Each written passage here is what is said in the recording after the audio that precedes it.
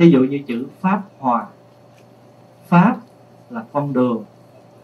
Tiếng anh dịch là the way the path. Hòa là harmony là hòa thuận. Thì uh, cái thì uh, có vị hỏi sao mà sư phụ thầy đặt là pháp hòa? Nó chắc hồi đó hồi nhỏ và hay gây đó. giờ thầy muốn cho mình đừng gây nữa thầy đặt là pháp hòa. Ví dụ vậy cho nên mỗi một cái tên đều có cái ý nghĩa rồi bây giờ mình sẽ thắc mắc là nếu như trường hợp sư phụ mình quá vãng, tức là sư phụ mình tịch rồi, thì bây giờ mình nương vào ai? Thì xin thưa đại chúng là mình có thể chọn cho mình một vị thầy thứ hai. Vị thầy đó gọi là thầy y chỉ. Y chỉ là sao? Tức là sư phụ mình bây giờ có thể không phải mất nữa sư phụ mình sống xa mình. Giờ mình ở gần cái địa phương đó có một vị thầy mà mình cảm nhận vị thầy này hướng dẫn mình tu học tốt. Mình có thể nương tựa vị thầy này thì mình lên, mình xem vị thầy đó, mình cầu xin vị thầy đó là thầy y chỉ cho mình. Rồi thí dụ bây giờ á, quý vị có sư phụ, có một vị thầy, cái thầy mà quy y cho mình thì mình gọi là bổn sư truyền giới đó. bổn sư là gì? Bổn là là gốc của mình đó. bổn là gốc, sư là thầy. Bổn sư là thầy gốc. Cho nên mình niệm phật thích ca mâu ni đó. Tên của ngài đúng ra là chỉ thích ca mâu ni thôi. Còn chữ bổn sư là mình thêm. Mình thêm để mình nói là mình nhận phật thích ca là vị thầy của mình, cho mình gọi là bổn sư. Rồi mới đọc cái tên của ngài lên là thích ca mâu ni phật. Hiểu ý không? À. rồi có một vị thầy nữa gọi là cầu pháp. Thầy cầu pháp tức là thầy đó chuyên môn giảng diễn mà mình nghe giáo pháp của thầy đó, mình cởi mở được tâm. Mình học hỏi được rất nhiều. Thì vị thầy đó gọi là thầy cầu pháp. Thầy mà truyền giới cho mình là bổn sư truyền giới. Thầy mà mình học hỏi gọi là thầy cầu pháp. Nhưng mà quý vị phải biết một điều là cái vị thầy truyền giới cho ta, là đại diện cho tăng để truyền giới. Mười phương tăng, dù là tăng lào, tăng việt, tăng miên, tăng thái, tăng câm vui chia tăng gì đi nữa, thì vị thầy đó hễ còn có tu thanh tịnh là thầy đó là thầy của mình. Chứ không phải nói là tôi chỉ biết thầy sư phụ thầy truyền giới, còn mấy thầy khác phải thầy tôi. Không mình hiểu như vậy là hiểu chưa hết? Mình phải hiểu rằng vị thầy mà làm lễ quy y cho mình á là đại diện cho tăng để làm lễ cho mình.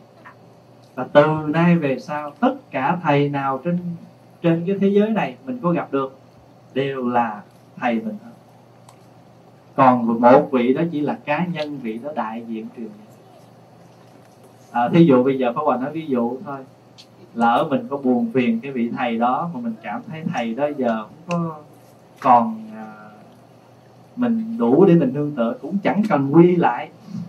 Bây giờ tôi muốn quy thầy khác tại thầy đó là xưa tôi quy y giờ thầy đó dở xấu mà tôi không thích không cần.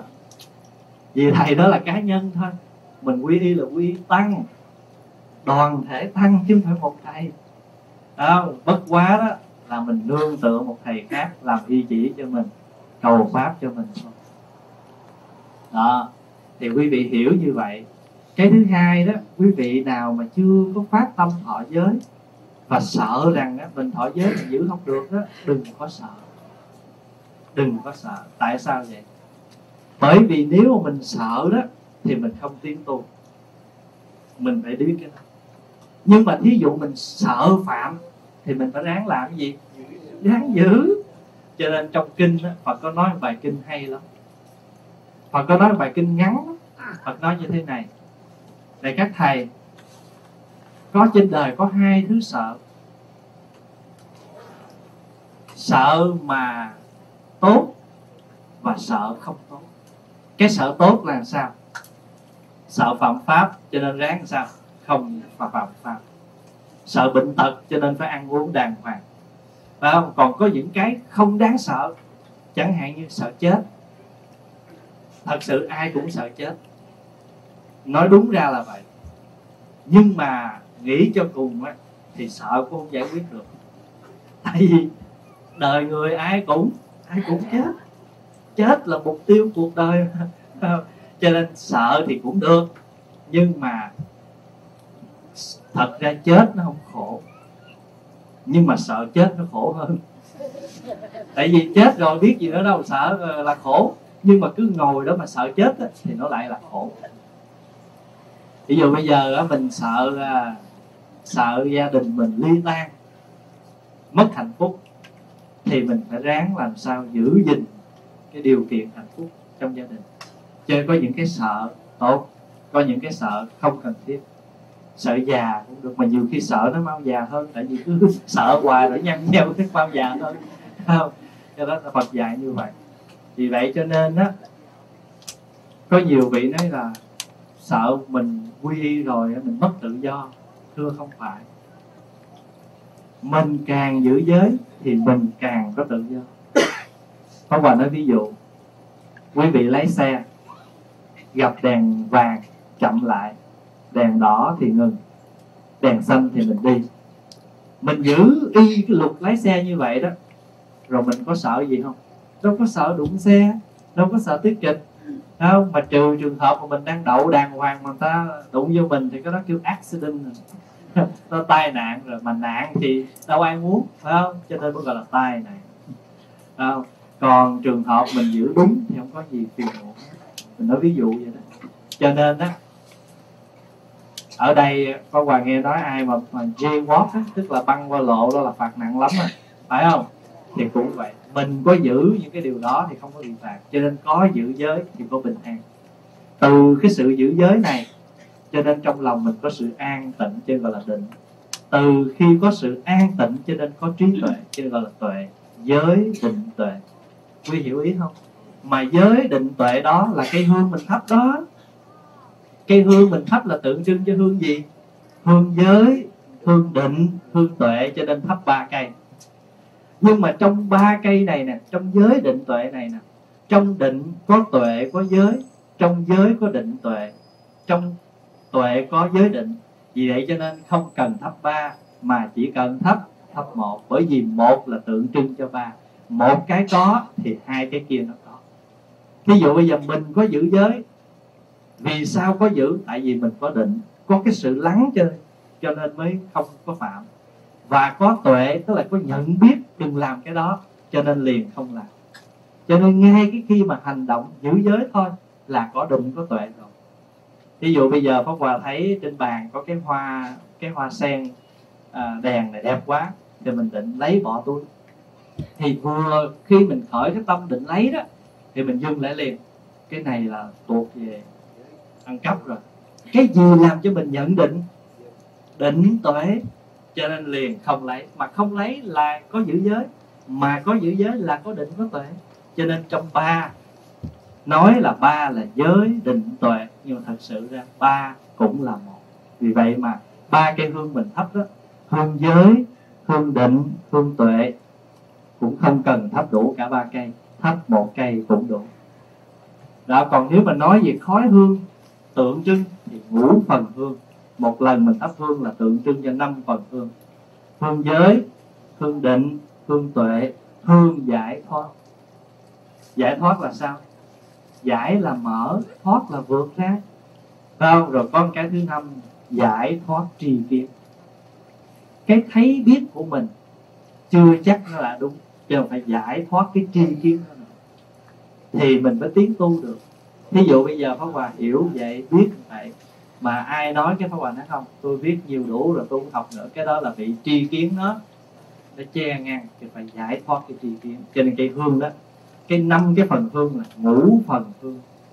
Giới hương định hương tuệ hương giữ. À, giới hương định hương giữ tuệ hương. Giải thoát giải thoát tri kiến hương quý thầy mỗi lần trong nguyện hương ta tụng đó quang minh vân đài biến pháp giới cúng dường thập phương vô tượng tôn. Đó mỗi khi mình cầm cái hương mình cúng phật đó là năm phần hương. Quý hiểu ý rồi ha? Thì đó pháp hòa giải thích thêm một phần đó. Để kế đến đó là có một à, hồi sáng đó thì pháp hòa có một câu hỏi đây là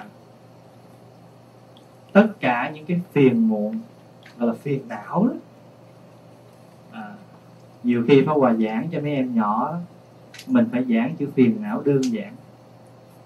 Cái gì mà nó làm border cái mai của mình là phiền não? Phải không? Chỉ có nhiều khi chuyện không phải của mình. Mình thấy người ta thôi mình cũng bực nữa có phải là phiền não không? Phải không nè? Không và nói ví dụ như bây giờ đó quý vị à, thấy cái người đó làm chén nước tương thì cái vị đó mới lấy cái dao sắc miếng ớt. Thì mình mới nói trong bụng là đối với mình ớt mà sắc thì không ngon ớt dầm mới ngon. Cái là mình thấy cái người kia sắc ớt cái là mình bực à. mình nói tôi đã biểu rồi ăn cái này phải dầm ớt mà đi sắc cái nó trật quẻ mà chuyện ta ta ăn con mắt mới gì mình mà mình thấy cái mình phiền đó thì phiền não là vậy. Có nhiều khi đâu phải chuyện của mình, chuyện của thiên hạ, rồi cái mình phiền não. Đó, cho nên mình tu như vậy. Mình tu Phật để làm gì? Tại sao mỗi lần mình quý vị thấy Phật ngồi thiền, Phật nhìn xuống? Tại sao các tượng Phật, các tượng Bồ Tát nhìn xuống mà không ngó trừng răng nhìn xuống là để tượng trưng cho người tu ta luôn luôn phải nhìn lại mình quán soi lại mình. Coi coi ngày hôm đó mình sống sao mình tu sao. Mấy mươi năm mình tương trao rồi chùa đi chùa cũng nhiều Phật pháp cũng thông không? Nhưng mà mình thông sao? Mình đi tu mà mấy ngày mấy năm nay mình có hạnh phúc không? Đó mình hỏi lại mình. Như vậy thì cái ý nghĩa mà ngồi thiền hay là niệm phật mà nhìn xuống nhìn lại mình, quán chiếu lại. Thôi chuyện đó không phải của mình. Nói hoài cũng nhiêu đó. Thôi, bỏ qua để mình lo chuyện khác. Tu hành đó là phải làm cái chuyện đó thôi. Không có phật. Trời nào ban phát cho mình cái gì hết. Cho nên phiền não là tự mình. Thì trong đó đó, hồi sáng mà nói, thí dụ như là cái biên kiến. Và trong đó có thân kiến nữa. Thân kiến là làm sao? Thấy sai về cái thân này. Ví dụ như thân này á là có hai cách thấy sai. Có nhiều người á, cho rằng chết là hết. Có nhiều người nghĩ rằng chết thì còn. Mà thấy còn thấy hết cũng đều là biên kiến mà phải thấy sao cho đúng? Tùy nghiệp thọ sanh. Khóc con cũng hết tùy theo cái nghiệp mà mình đi tái sinh. Ví dụ như nói còn là tôi đời này đẹp trai đẹp gái kiếp sau tôi cũng đẹp trai đẹp gái tiếp không phải. Đời này đẹp trai hay là đẹp gái nhưng mà ý mình có sắc đẹp. Mình đi làm những cái điều không đẹp thì cái nghiệp quả mình nhận ra thì kiếp sau nó cũng chuyển. Bây giờ pháp hòa nói ví dụ như vậy nè có cái bình hoa đẹp, nhưng không biết dưỡng nó để cho nó đẹp hơn, chẳng hạn như là xịt nước hay là tưới hoa hay là chăm sóc, mà đem lên cái cái cái lò sưởi để thế nào thì cái sự héo tàn của cái hoa nó màu hơn, nó phải biến dạng thôi à. Cũng như thế, mình có phước mà không biết hưởng phước, thì phước nó làm sao? Hữu phước bất khả hưởng tận hưởng tận sanh bần cùng cái người có phước mà không biết dưỡng thêm, có phước thì phải ráng làm thêm để hưởng nữa. Mà cứ ngồi chỗ hưởng hết phước mà quý vị để ý trong cuộc đời mình. Có nhiều vị có phước lớn lắm, nhưng mà không có biết tu tạo để cái phước nó lớn thêm. Rồi mất bao nhiêu là những người thân cận, mất bao nhiêu là những cái lợi lạc cho cho cho gia đình, cho cho bản thân mình. Thì tự nhiên một ngày phước nó hết cái cu kỳ con mình mình không có còn những cái người thân cận gần gũi. Mình không ai lo lắng chăm sóc mình. Đó là mình có phước mình không có phước. Mình không biết cách mình dưỡng. Vậy cho nên cái đó là thân kiến rồi. Có nhiều khi mình nghĩ chết là hết. Vì chết là hết cho nên sao? Không tu tập. Không tạo điều lành. Không tin nhân quả, thiện ác gì hết. Cho chết là hết. Cho nên cái người này sống bất kể. Không cần biết người thân, không cần biết ai hết. Miễn sao mình sung sướng đời mình thôi vì vì quan niệm sao? Chết là hết. Mà hình thức như vậy mà thấy ai làm cái gì mà trật đi chẳng hạn như người ta cúng nó tại sao phải cúng? Chết là hết. Người ta giúp đỡ cho người nghèo nó tại sao phải giúp? Chết đáng đời. À, thí dụ vậy cho, cho vì mình thấy như vậy cho nên mình phiền não thân kiến rồi biên kiến rồi tà kiến. Tà kiến là những cái thấy những cái thấy mà nó rất là tà tà là không tránh ví dụ như mình tin vào những cái chuyện thần này, thần kia, rồi mình cúng quải, rồi mình đốt giấy, mình kiếm hình nhân thế mạng, rồi ví dụ vậy. Đó. rồi có một cái là giới thủ kiến, tức là những cái điều mà giới luật mình cố chấp. Mình cho nó là cái cứu cánh, chẳng hạn như là thí dụ bây giờ mình thấy rằng mình á, mà làm một cái điều này á, là mình đền ơn cho ông thánh nào đó ông thánh nó sẽ phù hộ cho mình. Thì tất cả những cái đó đều tạo cho mình những cái phiền đó về về cái thấy của mình. Đó, hồi sáng mà nói mà, thân kiến, biên kiến, tà kiến, giới thủ kiến kiến thủ kiến, năm cái đó gọi là kiến hoặc phiền não do cái thấy. Rồi bây giờ phiền não do tư tưởng cũng có năm, phải không? Như là tham, sân, si, mạng, nghi quý vị nhớ không? Năm cái đó gọi là tư hoặc. Mấy cái danh từ là danh từ Phật học đó. Ví dụ ta hỏi à, à, phiền não căn bản thì có 10 chia ra thì có hai về kiến thì có năm về cái thấy thì có năm về cái tưởng cái suy tư có năm. Tham sân si mạng nghi là tư hoặc. Thân kiến biên kiến tà kiến giới thủ kiến kiến thủ kiến là kiến hoặc thì đó là pháp hòa lượt lại thêm chút nữa để à, làm rõ cái ý hồi sáng à, cho quý phật tử hồi sáng có câu hỏi và một số quý vị có đi theo đó à, dự đó.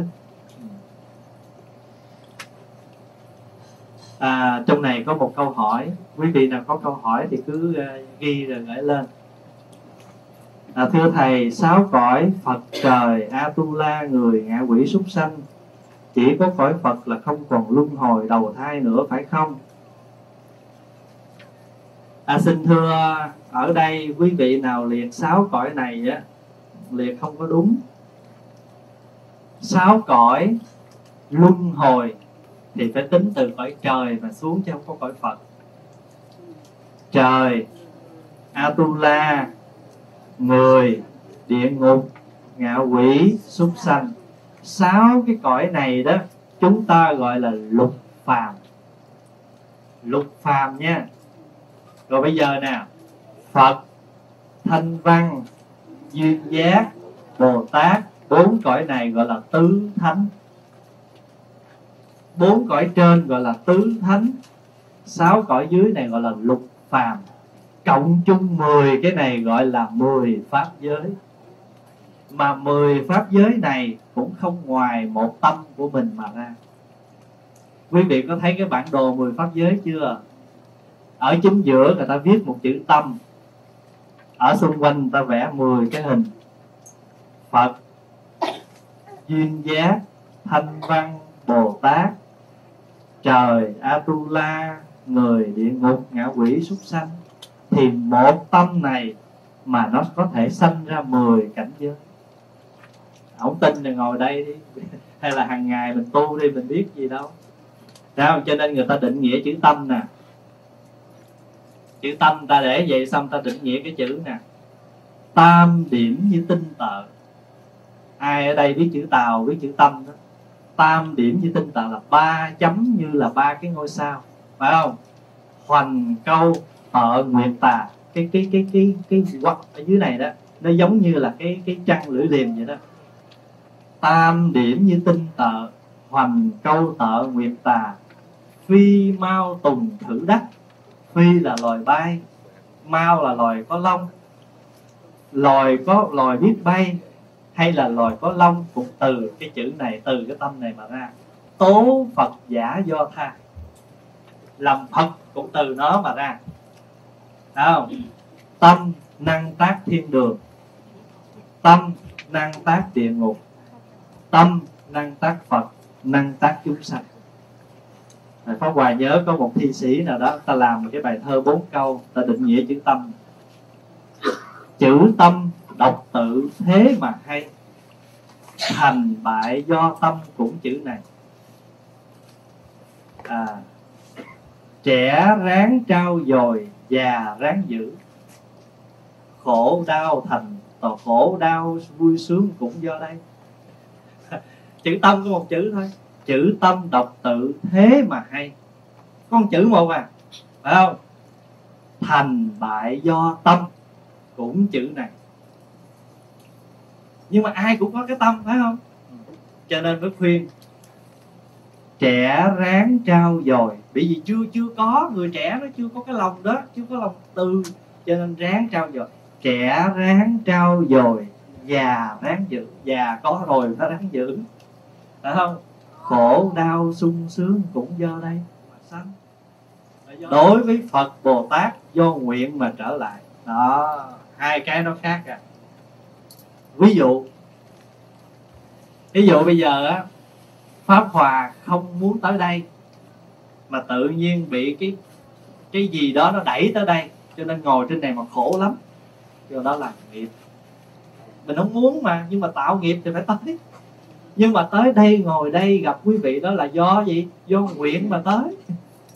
Pháp hòa nguyện là chỗ nào mà phật tử cần mà thời gian mình có, sức khỏe mình có thì mình tới.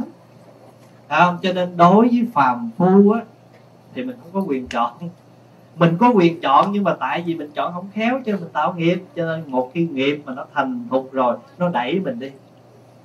Quý hiểu ý không? Cho nên do nghiệp mà. Pháp Hòa nói ví dụ khác về cái người tù á. Họ có muốn vô tù ở không? Không. Nhưng mà tại họ tạo tội cho cái tội đó nó đẩy họ vô đó.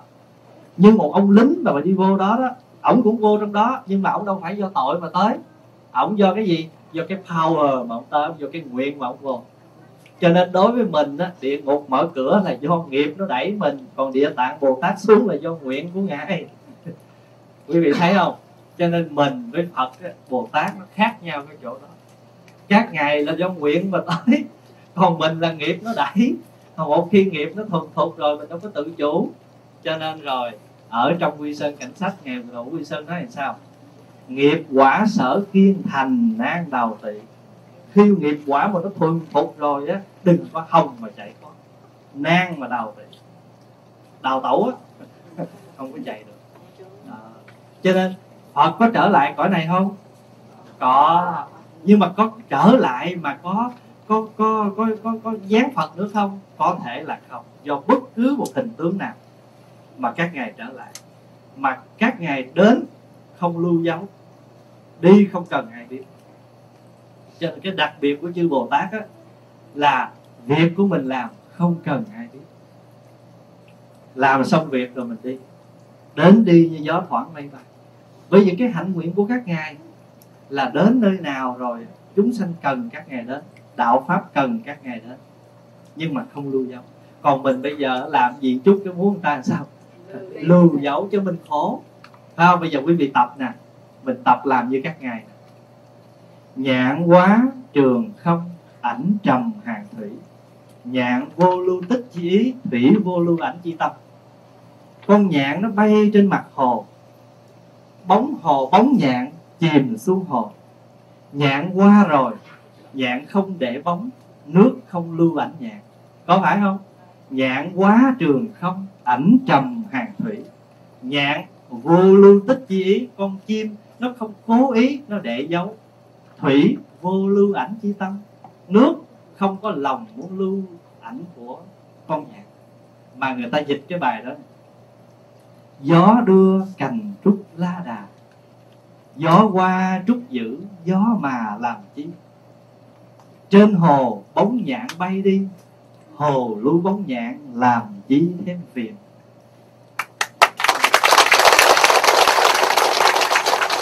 Các ngài, cho nên mình để ý nha, ở đời không dám khinh nai hết tại vì có thể phật bồ tát xuất hiện trước mặt mình. Như bồ tát có hai dạng, bồ tát thuận và bồ tát nghịch có những vị làm cái việc trời ơi lắm, nhưng mà thôi mình chấp tay đi. Chắc bồ tát bồ tát nghịch để chi quý vị biết không?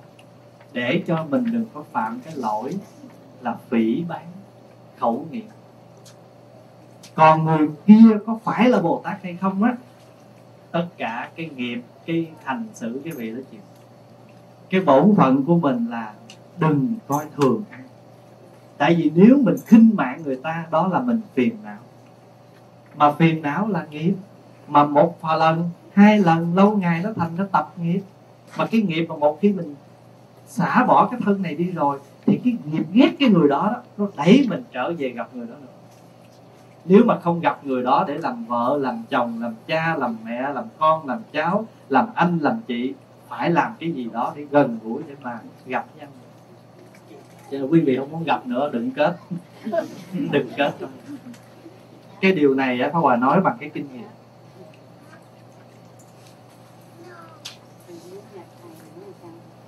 Nguyện nữa. Quý vị nguyện là thay vì mình gặp cái quan gia trái chủ đó, có cái câu nguyện trong sám à, ngày hôm qua và đọc quý vị nghe, có một câu hay lắm. Mình nguyện cho mình đời sau á, sanh ra gặp Phật pháp, gặp minh sư, gặp bạn lành.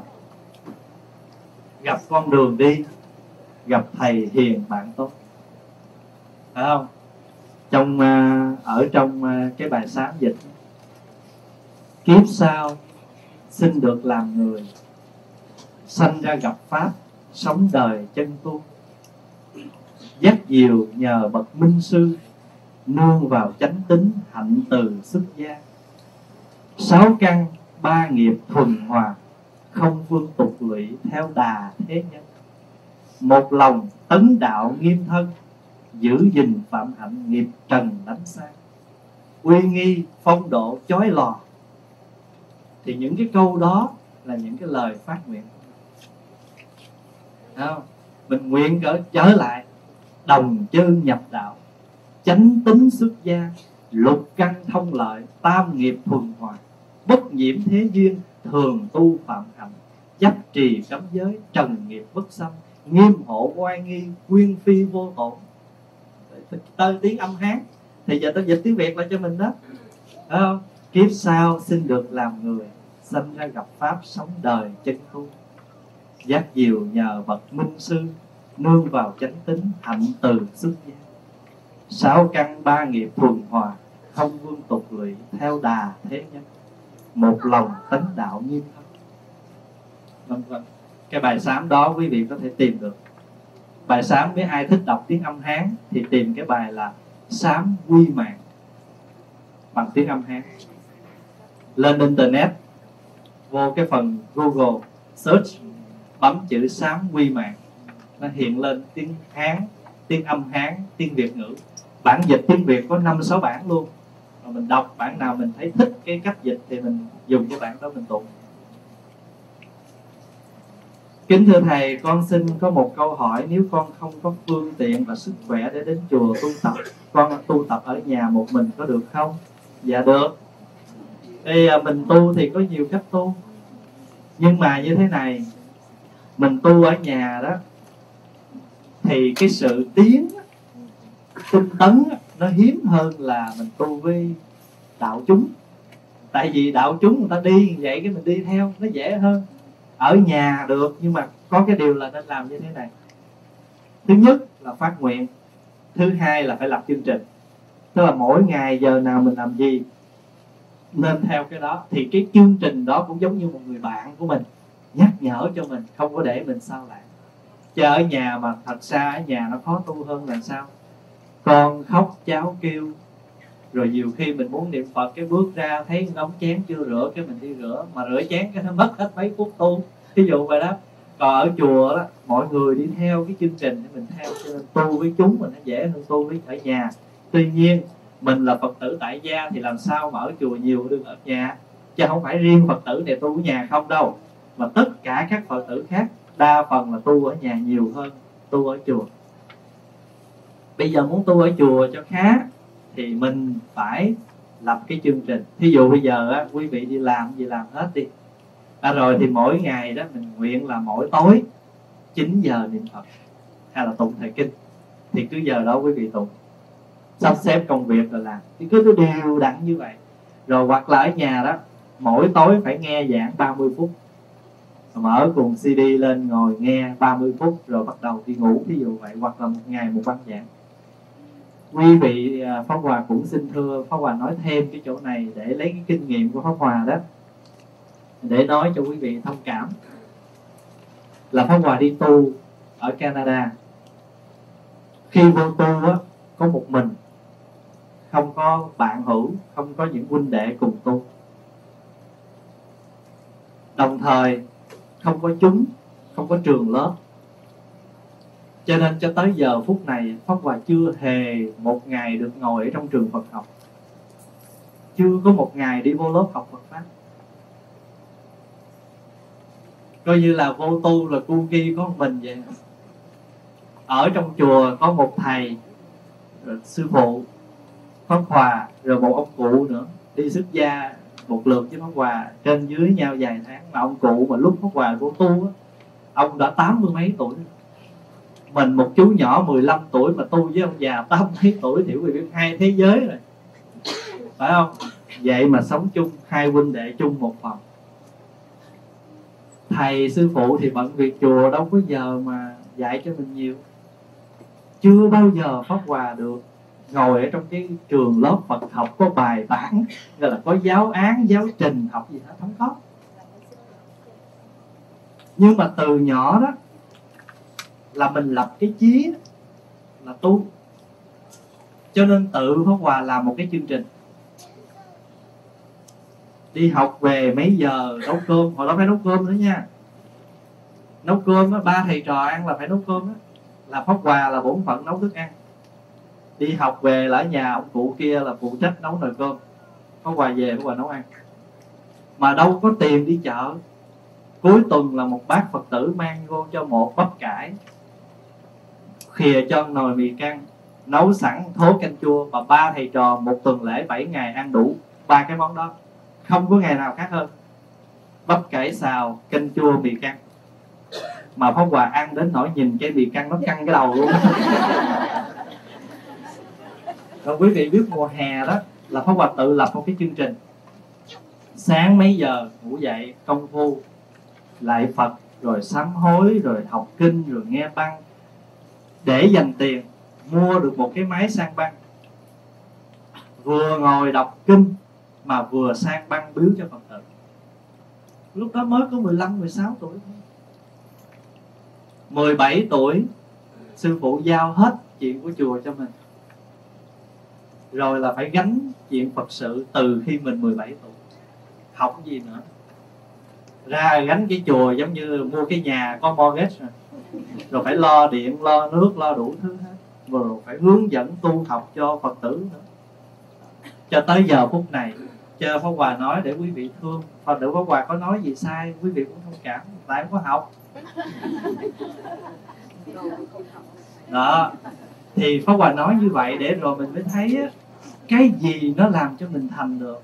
Nếu không có sự tinh tấn nếu không có sự quyết tâm và nếu không có tự mình lập cho mình một cái thời khóa thì nó không có kết quả. Cho nên Pháp Hòa nói đó là cái kinh nghiệm Pháp Hòa.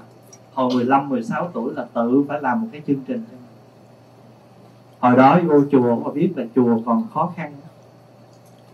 Phật tử đâu có bao nhiêu người. Ở cái vùng Pháp Hòa là hẻo lánh ít người lắm. Mà quý vị biết không mỗi buổi sáng mà vô mà rửa mặt á, là tự mình phải khắc phục á, là pháp hòa mở nước, pháp hòa cho phép pháp hòa xúc miệng, rửa mặt, đánh răng có hai cốc nước. Để mà tiết kiệm cái nước cho chùa lâu lâu về nhà, mẹ pháp hòa cho hai chục ba chục là đem vô đưa cho cái bác phật tử đi chợ là để đi chợ mua thức ăn cho mấy thầy trò. Cho mình mình người tu á, là không có phải lúc nào cũng sung sướng mà phải tôi luyện cho mình có thể sống ở bất cứ một cái hoàn cảnh nào. Vì cái danh nghĩa của người tu là khất sĩ. Khất sĩ là gì? Người xin ăn cho bây giờ mà được phật tử nấu cơm cho ăn rồi dọn đồ đó sướng quá rồi. Có gì mà phiền muộn kính bạch thầy, con chưa là phật tử quy phật, con chưa rõ tam quy ngũ giới à, giới sắc sanh là giới cấm đầu tiên. Nếu con phát tâm làm thức ăn mặn để bán kiếm tiền gây quỷ thì có phạm pháp không bạch thầy?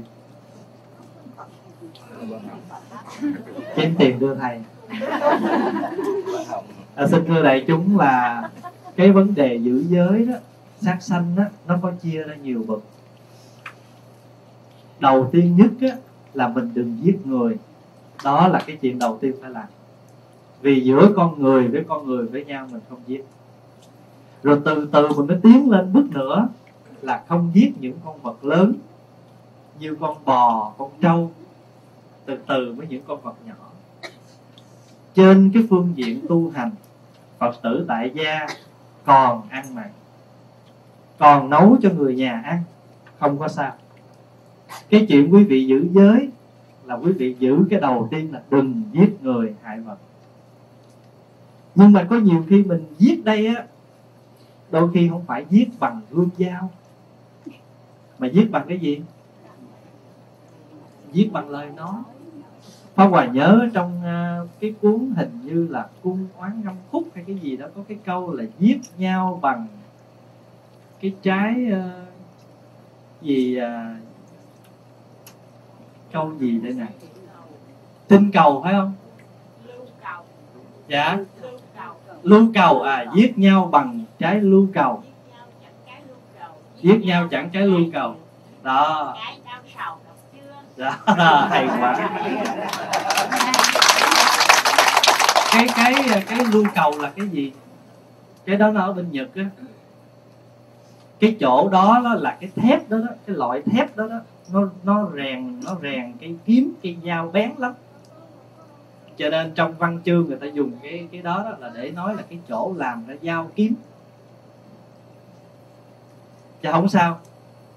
Vị phật tử này cứ việc quy thọ giới. Nhưng quý vị nhớ cái này. Phật không cho phép bất cứ một người phật tử tại gia nào chỉ vì tu mà thiếu bổn phận với gia đình. Phật không cho phép bởi vì mình có gia đình thì mình phải có bổn phận với gia đình. Còn cái chuyện mình thọ giới, mình ăn chay đó là chuyện của mình, nhưng mà không thể vì cái lý do đó rồi mình bỏ phế chuyện gia đình, mình đang chăm sóc, mình nói giờ tôi tu. Không có được. Mình tu á, là mình làm sao mình cảm hóa người thân của mình nữa mới hay bây giờ mình chưa có hướng dẫn người thân mình trở về với con đường tu giống mình được, thì mình phải khéo léo uyển chuyển để mà mình hướng dẫn. Cho nên cái bổn phận của mình phải nấu ăn cho người nhà, phải làm những cái công việc nó phải làm thôi. Cho nên pháp hòa mới nhắc phật tử bên chỗ hòa trước khi đi chùa làm công quả thì phải lo tròn bổn phận ở nhà, rồi mới tới chùa làm công quả được. Thứ nhất, quý vị đi, quý vị cũng không có phập phòng ở nhà không ai lo cơm nước phải không? Mà vui vẻ ở nhà thì mình tới mình mới ở yên. Chứ còn bây giờ mình tới mà mình không có thoải mái thì cũng không được. Kính thầy từ lúc thầy tu đến nay, thầy lên chức đại đức. Vậy thì thầy tu đã được ấn chứng chưa? Và thầy đã được ơn trên trời phật cho thầy thấy là có phật phù hộ thầy không? À, con xin cảm ơn thầy. Động lực nào thúc đẩy thầy đi tu? Và thầy tu lúc thầy bao nhiêu tuổi? Chà cái này giống công an quá. Công an điều tra lý lịch đó.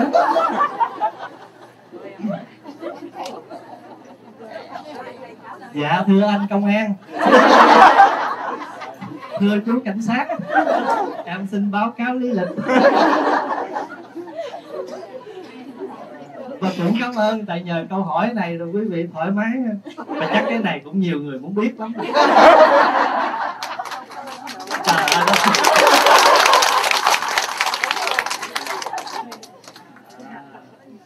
vui á. Không có sao. Có quà cũng không ít chuyện để nói đâu. À, Pháp Hòa xin báo cáo tuần tự.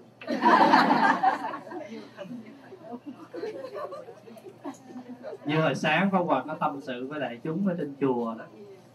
Hồi nhỏ Pháp Hòa đến chùa như thế nào rồi? Gia đình Pháp Hòa là hoàn toàn không biết đạo nha. Không biết gì hết. Mà từ nhỏ đó là Pháp Hòa chỉ có một cái thích thú là chỉ nhìn hình Phật mà lúc đó chưa có cái chữ Phật trong đầu và thấy người ta mà thắp hương á, ta thỉnh ba tiếng chuông á, ở nhà hàng xóm hay làm đó, thì cái mà Pháp Hòa thích nhất là đi lượm những cái chân nhang. Xong rồi Pháp Hòa cũng giả bộ như Pháp Hòa đang thắp hương vậy đó. Rồi Pháp Hòa cắm vô. Rồi thấy người ta gõ chuông, Pháp Hòa không có cái gì gõ Hòa đi kiếm cục gạch đó, Pháp Hòa gõ vô mấy cái thành của cột điện á cái kêu bon bon vậy đó. Mà từ nhỏ tới lớn là chỉ chơi cái đó. Tới khi mà 7 tuổi thì bắt đầu muốn đi chùa và khi đi chùa đó, ngày đầu tiên vô chùa là rằm tháng giêng. Các bạn nhớ như vậy. Rằm tháng giêng mà vô gặp thầy trụ trì, mình mới nói với thầy trụ trì là, con muốn quy y. Con muốn có tên. Lúc đó mới 7 tuổi mà thầy đâu có truyền giới. Cho thầy dẫn vô, thầy cho quy y, xong thầy đặt cái pháp danh. Hồi nhỏ pháp danh là huệ tài. Các bạn còn nhớ bài thơ thầy cho Thầy cho vào mấy chữ, Trong đó có chữ huệ tài. Thầy nói rằng á, Đáng khen huệ tài trí minh quan Giữ giới quy y được vẹn toàn, Ngũ giới cấm dình theo nẻo chánh, Tam quy trao luyện dứt mê tà, Trì trai niệm Phật trọn duyên phước, Bố thí tu hành khỏi đọa xa Nay gặp đạo lành mau trở gót, Nương về tam bảo thật nhà ta. Hồi nhỏ là cái bài thơ mà thầy cũng cho này thì khi mà mình quy y rồi Thì Pháp Hòa mới nói với mẹ Pháp Hòa đó Là bắt đầu từ bây giờ là con ăn chay một tháng 6 ngày. Rồi xin thầy trụ trì cho mấy cái hình Phật đem về thờ. Mà Pháp Hòa còn ra giá Phải thờ ba vị mới được. Pháp Hòa nói phải cho con hình Phật Thích Ca Phật Di Lặc, Phật Di Đà hình quan âm thờ mới chịu. Đem về đưa cho bà già bà nhà đâu có thờ Phật. Pháp Hòa nói mẹ phải đi mua khuôn về để vô khuôn cho lập bàn thờ. Bà già cũng nghe. Tôi đi mua gỗ mua đồ về nhờ người ta đóng cho cái bàn thờ. Thờ Phật. Thì nói chung thì cũng nhiều chuyện lắm. Từ nhỏ mà có một cái chơi rất là vui và thích đó, là biết làm gì không? Đi tụng đám ma cho mấy con gián. Con dế nhủi con thằng lằn con gián con gì ở đâu nó chết là phải hòa đem về hết rồi phong hòa bỏ một cái hộp quẹt hộp quẹt á. Quý vị cái hộp quẹt mà đẩy vô đẩy ra đó lấy tấm vải quấn nó lại để vô đó rồi kéo ra ngoài nghĩa trang công viên đó, rồi chôn nó mà đâu có biết một kinh. Thấy mấy thầy nó cũng tụng cho người chết đó, rồi mình cũng cứ tụng nam mô di đà phật nam mô di đa bà dạ mà đâu có thuộc cái gì đâu. Cứ tụng vậy rồi đem ra đi chôn. Gần đây á Phong Hòa có ờ, gặp có chưa gặp? Phong Hòa có nghe có có tiếp phone một cái người bạn hồi nhỏ. 25 năm rồi có bà mới nghe lại cái tiếng của người bạn đó. Thì cái người đó mới nói, nhớ không? Nhớ hồi nhỏ mỗi lần à, thầy à, còn nhỏ thầy đi đem mấy con gián mấy con dế thầy đi chôn rồi bắt tụi này lại gần chết không? Cái vị đó có nhắc lại. Thì đó là Pháp Hòa nói một chút xíu thôi, cái chuyện mà mình đi tu nhưng mà như thế này cái chỗ quan trọng chỗ này là cái câu hỏi là thầy tu, thầy có được ấn chứng chưa? Rồi thầy có được Phật trời cho thầy biết là thầy được phù hộ không? Mà nếu, xin thưa là không có được ấn chứng, mà nếu có ấn chứng dạy gì nói? Bây giờ pháp hòa giải thích cho đại chúng để hiểu cái nghĩa sâu của cái chữ chứng trong nhà phật ở trong đạo phật nói là tu chứng. Tu chứng không có nghĩa là mình đang ngồi như thế này nè. Rồi hào quang nó bộc phát. Rồi mình chỉ một cái đèn nó bật lên. Cái đó là luyện nhất dung chỉ cũng được. Không phải chỉ một cái đèn nó bật. Không phải chỉ một cái đèn nó tắt. Không phải đi trên lửa, trên sông. Không phải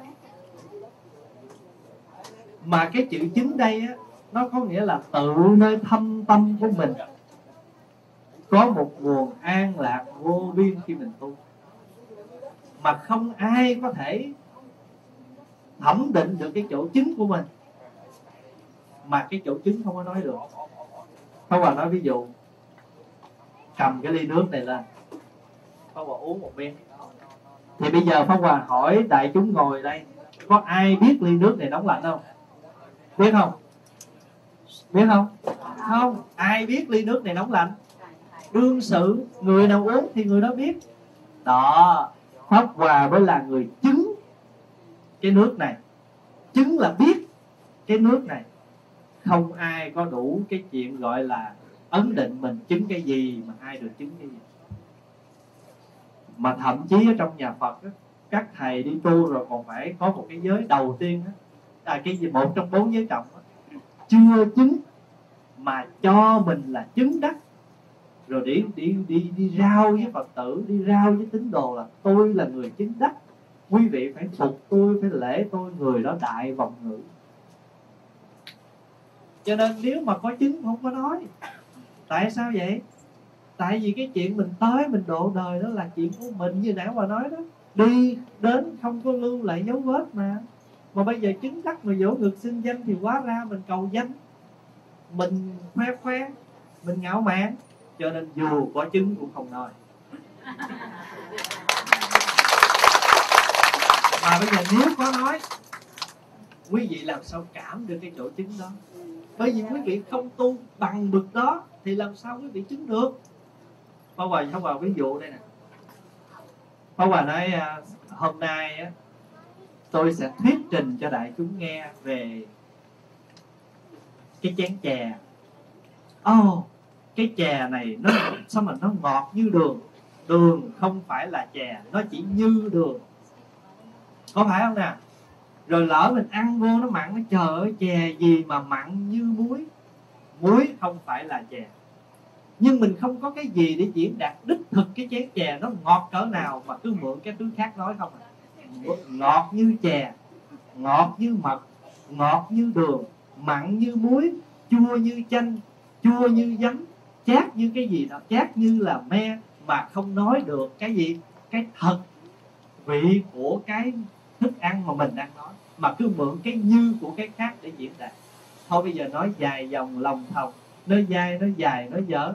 Thì chỉ có cách là mời quý vị ăn chén chè đó, rồi quý vị tự nhận được chè này nó ngọt như thế nào, mà như cái gì cái gì đó đều không phải là cái thật vị của chè đó. Chứng cái chỗ đó. Nói làm sao được?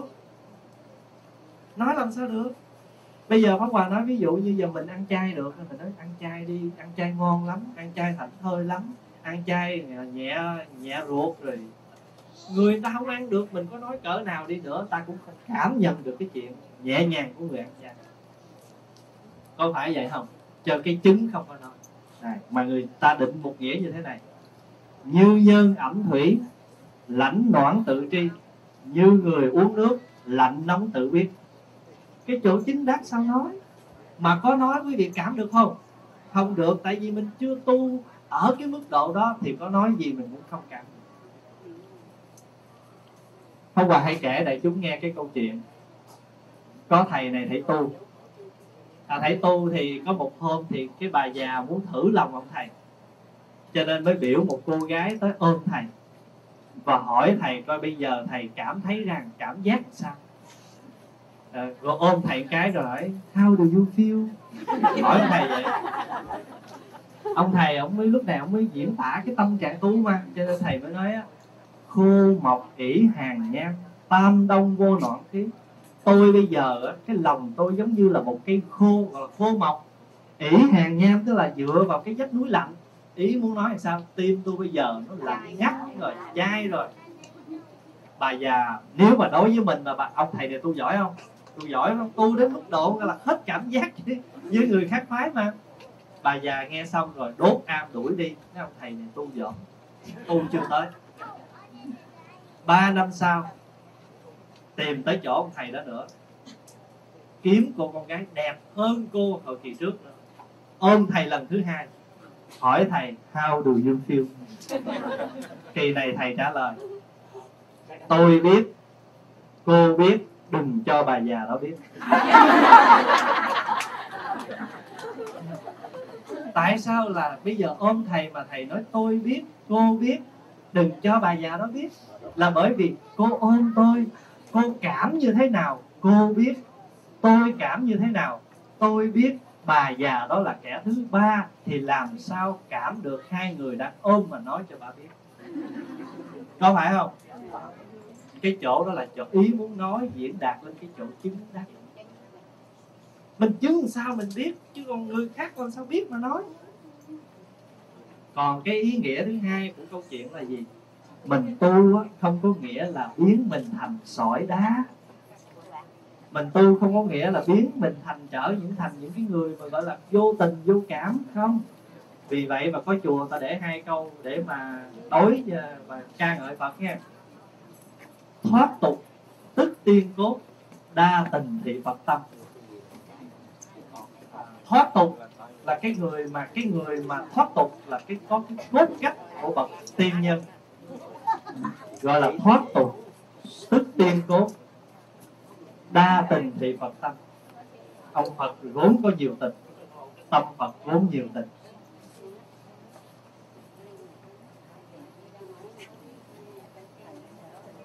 Rồi bây giờ một câu hỏi kế nè. Kính thầy cho con hỏi một câu. Đức quán thế âm bồ tát có phải là ngài quan âm diệu thiện? Xin thưa lại chúng á, căn cứ theo kinh bi hoa, thì đức quan thế âm bồ tát á, ngài là một vị cổ phật. Ngài là một vị cổ phật, tức là thành phật lâu đời rồi. Nhưng mà bởi vì ngài có cái phát nguyện trở lại cái cõi giới ta bà để ứng thân cứu khổ quý vị biết không cho nên ngài ứng thân làm bồ tát chứ thật ra ngài là một vị khổ phật có tên là chánh phát minh. Còn tất cả những cái danh hiệu mà chúng ta đặt cho ngài như là quan âm thị kính quan âm diệu thiện quan âm nam hải quan âm uh, trì châu quan âm dương liễu quan âm tịnh bình quan âm bạch y tất cả những quan âm mà mình đặt cái tên đó là tùy theo cái ứng hiện của ngài. Sau một cái chuyện gì đó rồi chúng ta liền đặt cho ngài cái tên. Ví dụ diệu thiện là gì? Đây là nói theo một cái tích ở bên đại hàn. Không? có một cô công chúa thứ ba à, vì muốn đi tu mà rồi à, vào chùa tu để mà trở thành một vị bồ tát độ lại cho vua cha. Bởi vì vua cha là một người không có tin Phật pháp không tin nhân quả. Rồi vị ông cha này làm những cái điều lỗi lầm. Và sau đó nhờ ngài tu thành ngài độ. Và cái tên diệu thiện là tên của một vị công chúa thứ ba. Đó thí dụ vậy.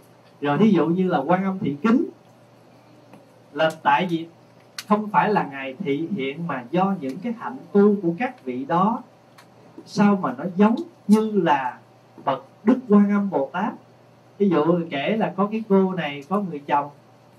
À, rồi một hôm thì chồng à, đọc sách rồi chồng à, ngủ mê.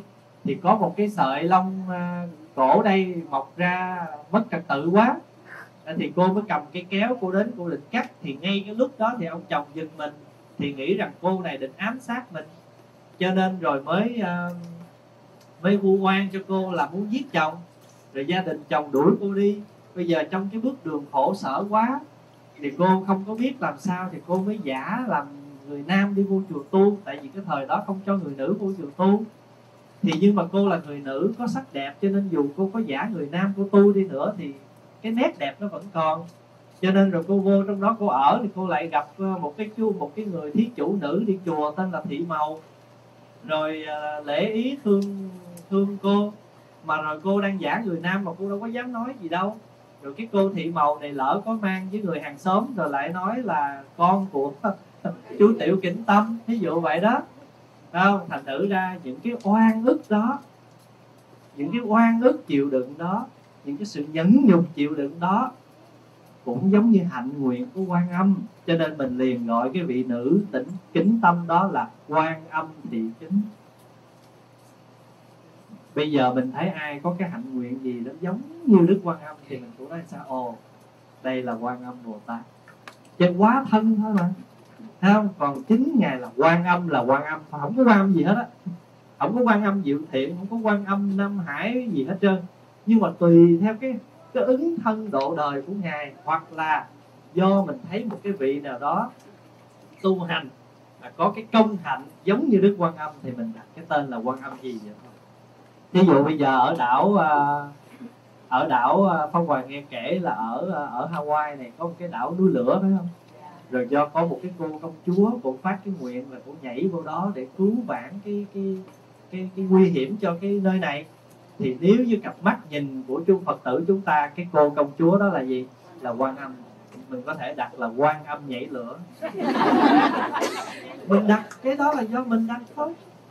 Quý hiểu ý không? Cho nên là ví dụ như bây giờ đức quan âm cầm nhành dương thì mình gọi là quan âm nhành dương đức quan âm cầm trái châu là quan âm trì châu đức quan âm cầm bình nước là quan âm tịnh bình đức quan âm mặc áo trắng là quan âm bạch y đức quan âm cầm cái vỏ cá là quan âm ngư lan phải không đức quan âm ngồi trên hoa sen là liên tọa đức quan âm mà duỗi một chân xuống con chân lên gọi là quan âm tự tại đức quan âm có bốn tay là tứ tý quan âm có 11 đầu là thập nhất diện quan âm.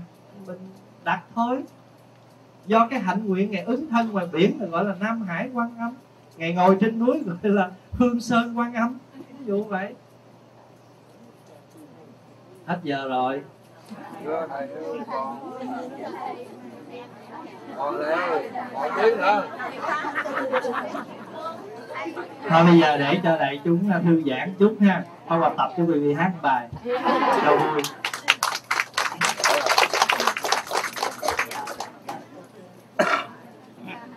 sợ quý vị lầu mơ tăng kể cứu trọ hiểu tiếng tiều không? À có lầu ngồi lâu tê cẳng khó chịu.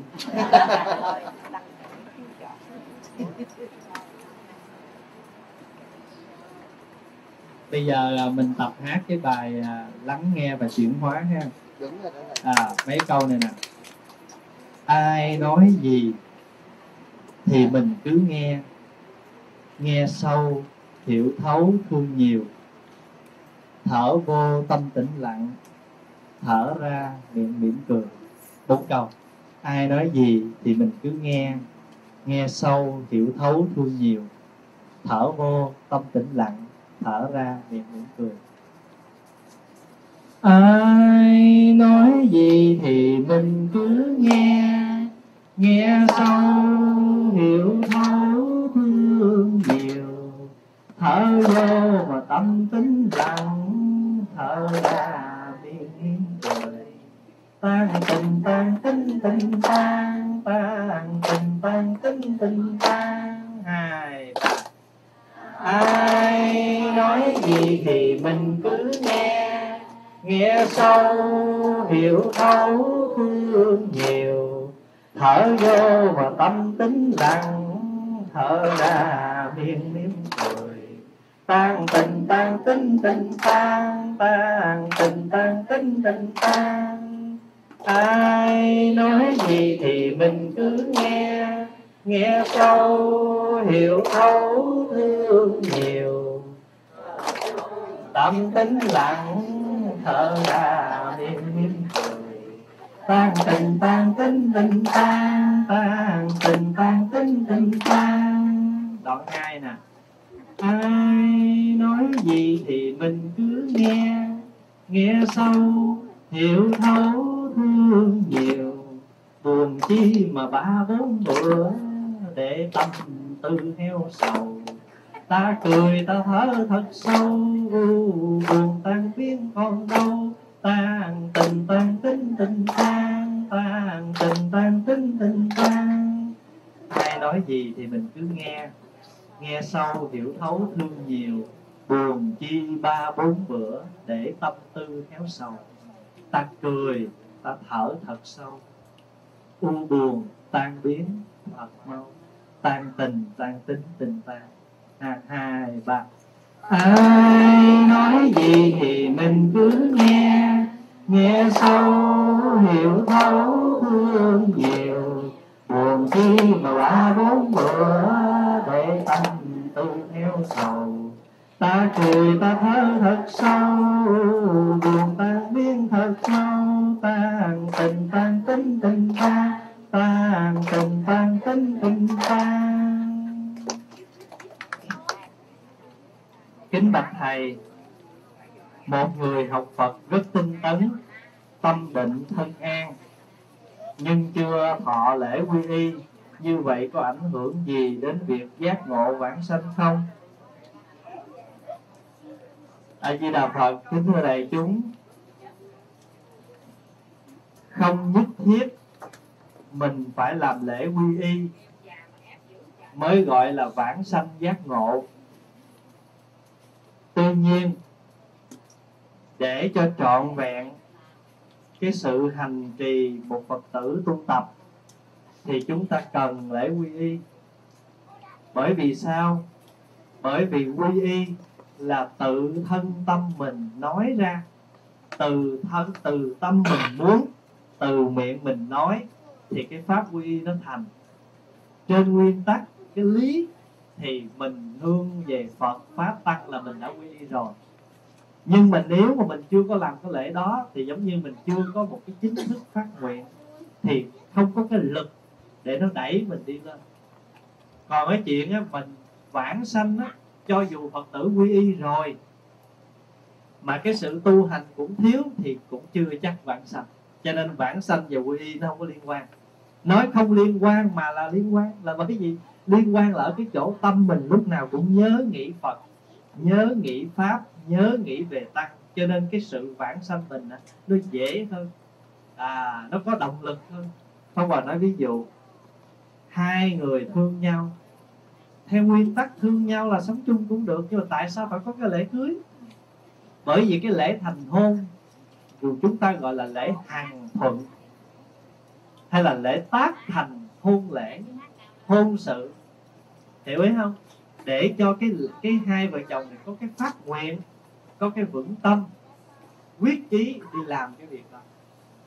Thực hiện cái ý cái chí nguyện mà vợ chồng phải sống cho hòa thuận. Chứ còn nếu mình không có cái lễ á, thì cũng được thôi. Đâu có ai nói gì nhưng mà có cái lễ thì tự nhiên có một cái sự chính thức. Cho nên cần có cái lễ quy y. Mà có nhiều khi mình quy y rồi mình không có tu thì cái sự bản sanh mình nó cũng chưa chắc. À, cho nên là giảng sanh, giác ngộ. Là cái chuyện của các bậc mà người ta sao? Tu hành gọi là miên mật còn mình bây giờ á, thì sự miên mật hiếm có, hiếm lắm. Rất là khó. Vậy cho nên mình cần phải sao? Không có dám lơ là. Thưa thầy, người đời cứ nói con người sống chết có số ngay như giày dép còn có số. Vậy thì tại sao cả 6.000 người ở New York, rồi ở Japan, cả trăm ngàn người vừa chết mất tích? Như vậy, há những người đó đều cùng chung một số mạng hay sao? Kính thưa đại chúng, cái số mạng là mình nói theo cái đời, mình nói là số mạng còn nói theo Phật học á, thì chúng ta nói là cộng nghiệp. Bởi vì cộng nghiệp á, nó cũng có cộng phước. Chứ gì có cộng phước cho nên nó cộng hưởng. Có phải không? Thì nghiệp nó cũng có cộng nghiệp và nghiệp nó cũng có biệt nghiệp. Ví dụ như vừa qua cái trận động đất và sóng thần ở Nhật có một vài người thoát chết như có một bà già tám mấy tuổi. Có những đứa nhỏ đem lên còn sống. Đó là biệt nghiệp nó cộng nghiệp là nó cùng bị một cái tai nạn. Nhưng mà nó có cái biệt nghiệp là cái phước nó sống, cái cái cái thọ mạng nó chưa hết. Cái phước thọ nó còn, cho nên nó sống sống thì bây giờ chúng ta cũng thế. Chúng ta là người Việt Nam. Ra đi. Đó là cộng nghiệp rồi về cùng ở chung cái đảo này là cộng nghiệp. Nhưng mà mỗi người ngồi đây đều có biệt biệt nghiệp thôi. Rồi bây giờ á, ngồi đây cùng vô trong này là cộng nghiệp nhưng mà nghiệp này nghiệp gì? Nghiệp tốt nghiệp lành. Nhưng mà nếu mình hằng nếu tâm mình không có nghĩ đến Phật pháp thì người ta có dán quảng cáo đầy đường hết mình không đi là mình không đi bởi vì mình đâu có cái tâm tư hướng về đó đâu mà mình đi mà có tâm tư hướng về đây rồi thì ngồi chật ngồi hẹp, ngồi nóng, ngồi khó chịu cũng vui vẻ là bởi vì mình đồng một cái nghiệp mà thiện nghiệp. Mà cái quan trọng là mình nghe pháp cho nên ngồi đây mà pháp hỷ sung mãn. Pháp hỷ sung mãn là nghe pháp no đủ. Đó, cho nên cái chết, cái sống cũng đều là do nghiệp. Nhưng mà rồi cộng nghiệp, biệt nghiệp nó có khác. Đừng có nói chi ngồi đây nha trong một gia đình năm đứa con, mà nhiều khi năm đứa nó có năm cái phước báo khác nhau. Có đứa là đi tới đâu á, xin việc là dễ dàng. Có đứa thì trầy lên xuống có đứa thì được người ta giúp đỡ tận tình. Có đứa thì bị người ta lường gạt đủ thứ hết. Nó cùng cộng nghiệp là con mình, nhưng mà cái biệt nghiệp nó có khác. Quý vị thấy không? Cho nên nó tất cả những cái sống, cái chết, những cái gì chúng ta gặp trong đời này nó đều là cộng nghiệp cộng phước. Nếu mà cùng á, hưởng thì hưởng chung mà trả nghiệp thì nhiều khi cũng phải trả chung. Rồi trong cái trả chung đó nó có những cái việc. Yeah.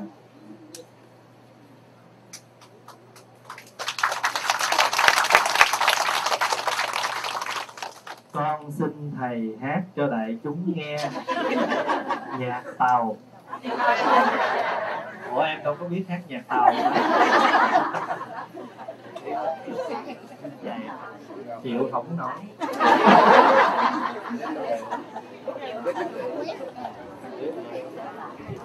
thì thôi.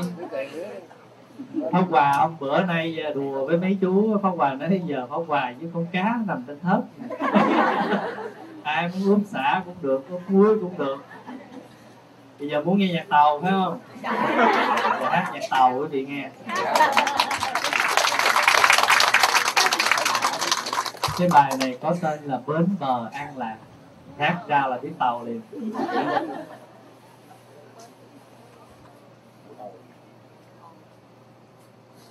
Đời vui, đời buồn. Buồn vui chuyên biến là chuyên thường thế gian. Người ơi dù vui hay buồn? Mà lòng ta quyết tâm vân bền đường tu. Thương nhau phải nhớ, thông cảm cho nhau. Đừng hờn trách nhau hoài bạn nhé. Đợi mình ngàn ngùi biết sống bao lâu. Sao để lòng buồn chán ghét nhau làm chi? Biết chưa? thì phi chuyện đời, người tu phải quyết để chung ngoài bên tai. Niềm an vui thanh thời tháng ngày, thì từ đây sẽ bên ta dài lâu. Niềm an vui sẽ bên ta dài lâu.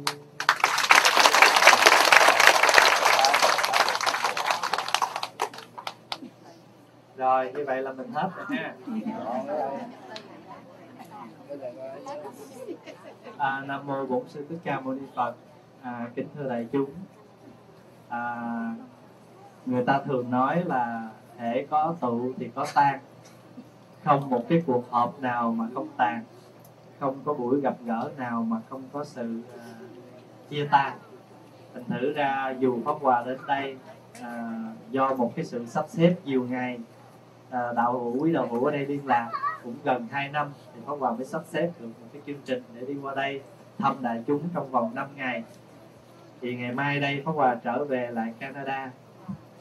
Nhưng mà những cái hình ảnh à, thân thương của quý phật tử ở đây à, những cái sự ấm cúng à, màu sắc đẹp đẽ ở đây à, cũng nhất định cũng sẽ lưu lại ở trong cái à, tâm hồn của pháp hòa và nhất là cái sự à, thiết tha cầu học của quý phật tử. Không có quản ngại những cái sự chật hẹp mà quý vị đều có mặt đầy đủ trong những buổi sinh hoạt. Làm cho phật tử à, làm cho pháp hòa có được một cái sự à, niềm vui sự tinh tấn trên bước đường à, tu học cũng như là dấn thân à, phụng sự cho Phật pháp. Thì trong thời gian qua à, pháp hòa được quý vị chăm sóc lo lắng tận tình thì pháp hòa xin nguyện tam bảo chứng minh gia hộ cho tất cả quý vị à, tròn đầy quả phúc gia đạo được bình an thân tâm thường lạc à, tu hành tinh tấn. Và nếu trong thời gian qua à, trong sự chia sẻ Phật pháp à, có những gì chưa có được à, hay thì mong đại chúng quan hỷ bỏ qua cho. Và hy vọng à, chúng ta sẽ được gặp lại trong một à, dịp nào à, khác nữa cũng trong cái tinh thần Phật pháp như thế này. Hay Di Đà Phật.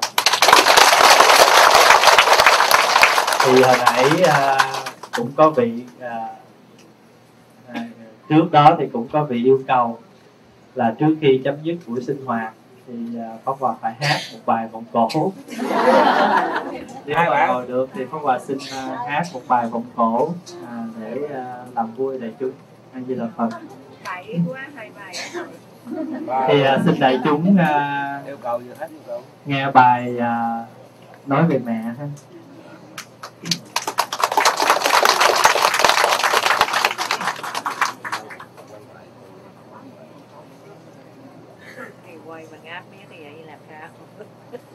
Trong căn nhà dột cột siêu thiêu trước hụt sao con mới thấy lòng mẹ bao la như sông dài biển rộng.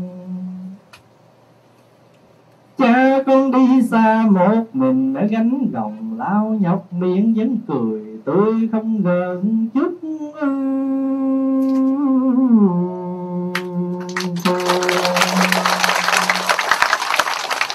giàu những khi nhà gạo không tiền. Quên sao được mẹ ơi, ngày ngày trên vai gánh nặng tiếng reo hàng nghe dời dời thiết tha.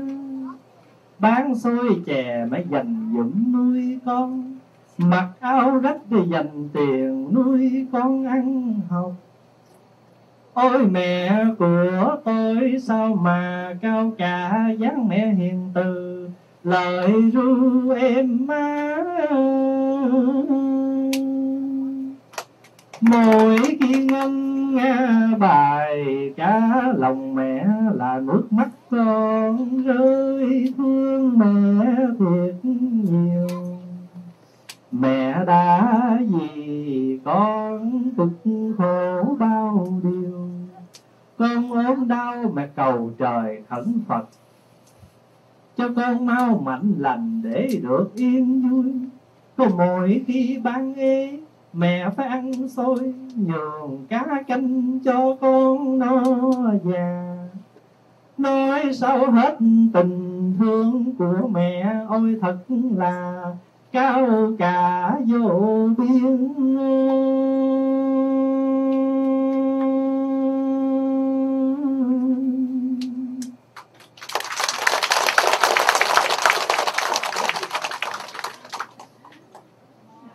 chưa? Nữa thầy ơi. Nữa thầy. Ba bản nữa thôi. Ngày mai tóc mẹ đã phơi sương lưng còng gối môi. Con lớn lên thêm một tuổi là mẹ mất hết một năm gần gũi những thăm tình con cứ tưởng đâu mẹ sẽ mãi bên con như bóng bên hình. Nhưng khi hiểu ra thì con mới biết, rồi có một ngày mẹ phải xa con ôi công ơn sanh thành, sanh tờ biển non, lòng mẹ thương con, làm sao đền trả được. Nghe lời mẹ khuyên, con chăm lo học tập, chắc là mẹ vui khi tuổi về chiều. Mẹ ơi, nhìn tóc mẹ ngả màu sương tuyết, mắt mẹ mờ dần vì năm tháng khổ đau, có nghe lòng mình lo sợ làm sao con sợ mẹ sao rời xa con kè. Để cho con một đời trong cô lẻ mất mẹ rồi tìm mẹ ở nơi đâu. Lòng mẹ thương con như biển thái bình rào ra lời mẹ thiết tha như dòng suối ngọt ngào. Thương con mẹ hát ru con vào giấc ngủ, lời ru đời ấm dịu biết giường bao. Mỗi năm mỗi thắp đèn trời, cầu cho cha mẹ sống đời với con.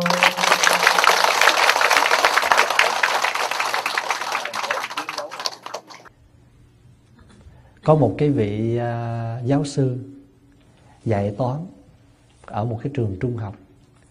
Thì cái vị giáo sư này mỗi ngày là dạy các em tu thiền. Tức là mỗi khi mà ở trong trường thì không có cái chuông. Thì lâu lâu cái ông mới ra lệnh đó là cứ 15 phút hay 20 phút là ông sẽ đập cái cây thước xuống bàn cái. Là lúc đó tất cả học sinh dừng lại hết. Không có viết không gì hết bắt đầu ngồi thở thở để trở về cái giây phút hiện tại là biết mình còn đang sống đây. Và vị giáo sư đó đã đem hướng dẫn các em một cái pháp thiền. Và quý vị biết người tây phương á, nhiều khi họ đến chùa mình á, mà Pháp Hòa hướng dẫn cho họ xem chùa hay là giải thích rồi đó, Thì khi mà họ đi ra phía sau, Họ nhìn cái bàn thờ mình thờ ông bà tổ tiên phía sau đó Thì Pháp Hòa giải thích cho họ biết cái ý nghĩa mà thờ tổ tiên đó Là quý vị biết họ ngồi họ khóc. Họ ngồi họ khóc. Là vì cái đời sống Tây Phương họ không có được cái gốc rễ tổ tiên. Thậm chí như là con lớn rồi 18 tuổi rồi mà nó chưa chịu ra đó là phải tìm cách đuổi nó ra. Nhưng mà trong khi đó người Việt mình thì khác, phải không? Mình cũng muốn con mình nó ở được với mình ngày nào mình mừng ngày đó. Mình không có muốn con mình nó dọn ra ngoài. Trừ khi nào nó có gia đình rồi, nó muốn có đời sống riêng thì mình mới chấp nhận thôi chứ còn không ai mà muốn con mình dọn ra riêng hết. Nhưng mà tây phương không có. Có những anh thanh niên lên chùa, người tây phương đó, ngồi rất là buồn bã. Và nó nói là, hỏi sao buồn vậy? Nói là, ba má tôi hôm nay nói với tôi là tôi đã được 18 tuổi rồi. Tôi phải tìm cách tôi dọn ra ngoài để tự lập. Rồi khi mà cha mẹ, ông bà mất rồi là coi như xong. Không có cái ngày giống như mình là cúng dỗ cũng à, nhớ được cái ngày ông bà quá, qua đời. Thành thử người tây, người việt nam mình, người á đông mình đã có được cái ngày dỗ rất đẹp và rất hay. Chủ nhật tuần rồi á Pháo Hòa có làm cái lễ đám cưới cho một cặp Tây Phương. Và quý vị biết cái lễ đám cưới của họ đơn giản, chưa bao giờ mà quý vị tưởng tượng được. Là hai vợ chồng đi lên chùa, Mua hai bộ đồ vặt hò màu nâu và trong cái ngày lễ cưới đó, Hai vợ chồng mặc hai bộ đồ vặt khách. Quý vị biết đồ vặt khách không? Tức là đồ mà ở trong chùa mình hay mặc cái cổ tròn rồi gài nút bên hông vậy nè. Hai vợ chồng mặc hai bộ đồ vặt khách đi chùa làm lễ đám cưới. Mà tuần rồi á, là Pháp Hòa Bệnh nói không có ra tiếng. Vậy mà phải ráng ngậm chanh, ngậm mật ong suốt cái đêm đó. Để mà ngày mai có thể mà nói được một chút ít với họ. Thì à, cái chương trình họ yêu cầu là khi mà khách khứa mọi người đến Thì xin Thầy thỉnh Đại Hồng Chung cho mọi người ngồi thiền.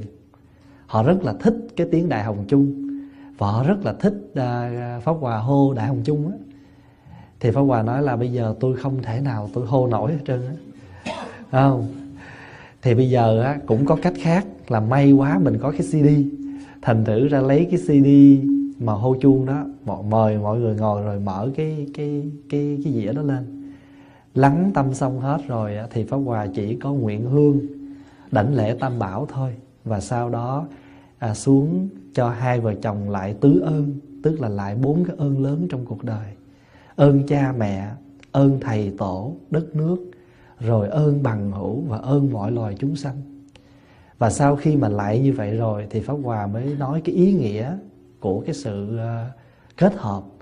Và sau đó mình mới nói đến ý nghĩa chiếc nhẫn.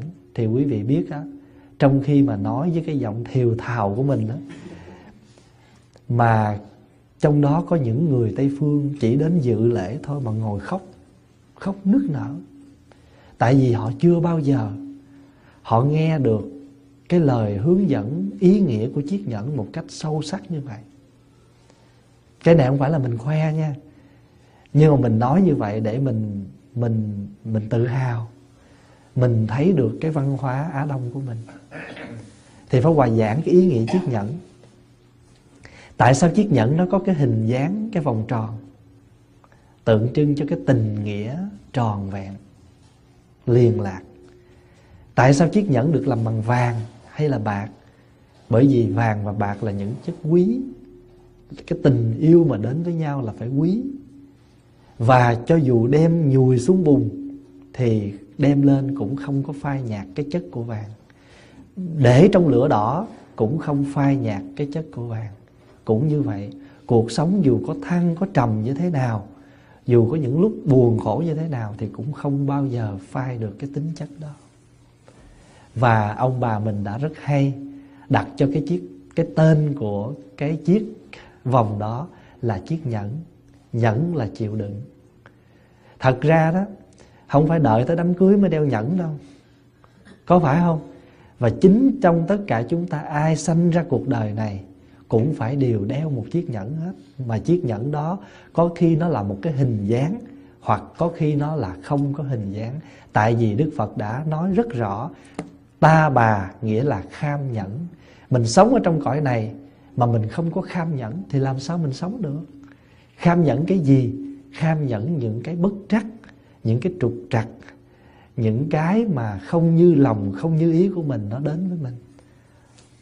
Thành thử ra mình đeo chiếc nhẫn là một hình thức để nhắc nhở mình, nhẫn nhịn một đối phương. Nhưng mà thật ra thầy tu cũng phải đeo nhẫn như thường.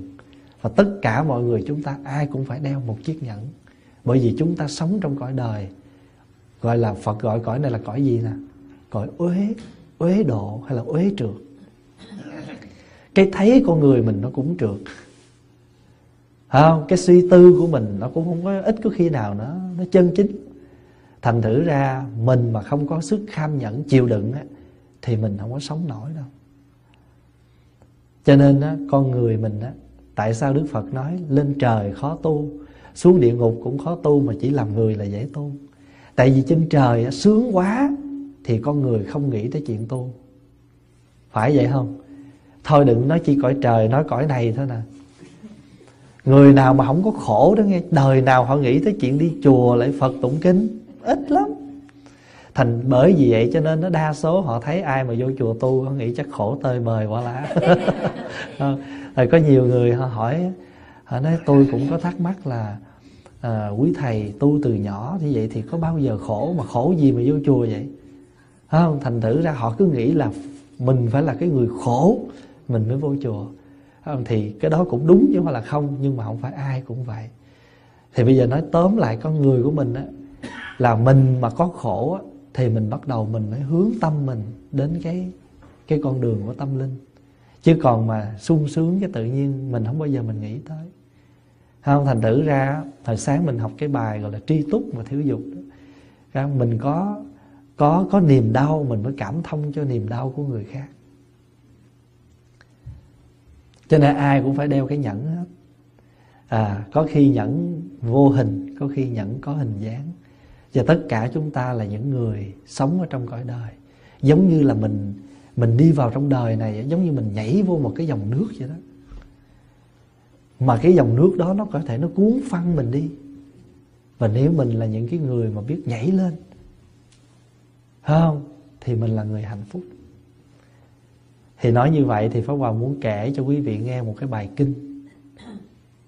Đức Phật gọi cái bài kinh này là ví dụ nước biển. Phật nói kinh ví dụ nước biển.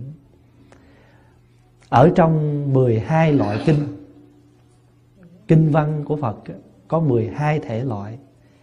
Thí dụ như gặp một cái nhân duyên gì đó Phật nói bài Pháp thì có đó gọi là nhân duyên. Quý vị hiểu ý không? Rồi Phật đưa ra những cái hình ảnh gì để thí dụ thì gọi là kinh thí dụ. Rồi có ai hỏi Phật nói thì cái đó gọi là Gọi là kinh gọi là à, à, Có người mà gọi là hỏi rồi Phật trả lời.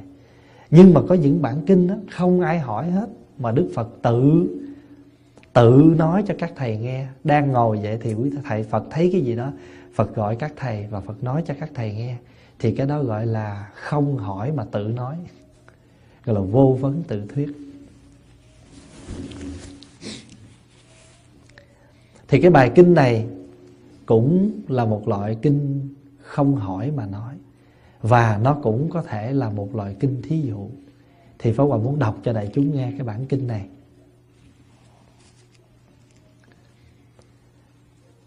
Tôi nghe như vậy. Một thời Đức Phật ở tại vườn ông cấp cô độc. Rừng kỳ đà Nước xá vệ.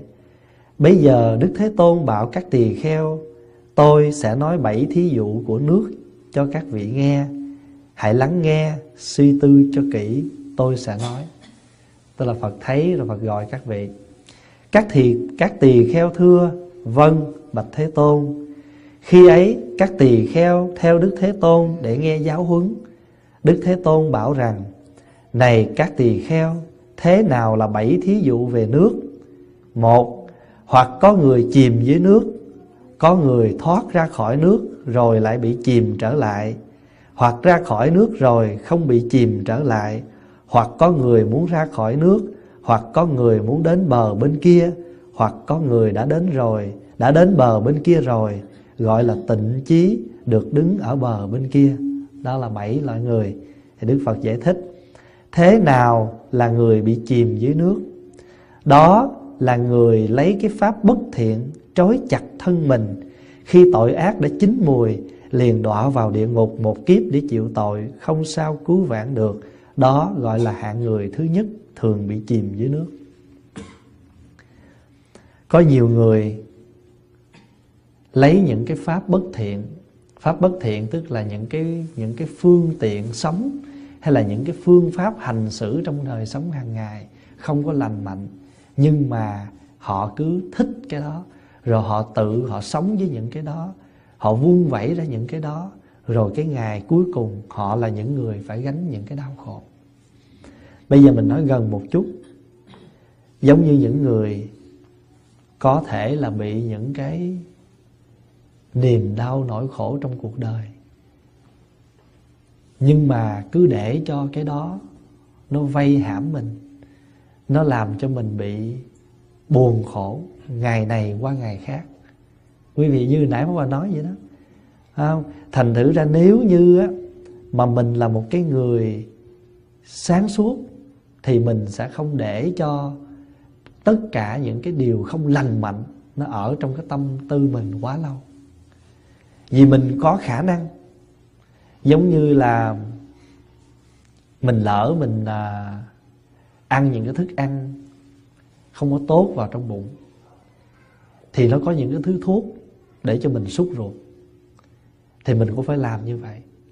Cho nên là nãy qua mới nói là mỗi ngày mình biết tưới tẩm vào trong cái tâm thức mình bằng những cái à, cái thứ nước lành mạnh cho nên người nào á, mà để cho những cái bất thiện pháp nó trói chặt mình và khi cái đau khổ nó chín mùi rồi thì chính mình là những người đọa vào trong cái cái cái người mà đó là làm bất thiện pháp thì đọa vào địa ngục một kiếp chịu tội.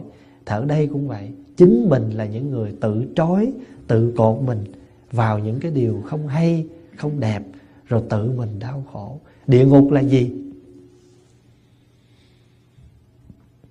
Địa ngục là người ta định nghĩa chữ địa ngục là bất lạc, là không vui.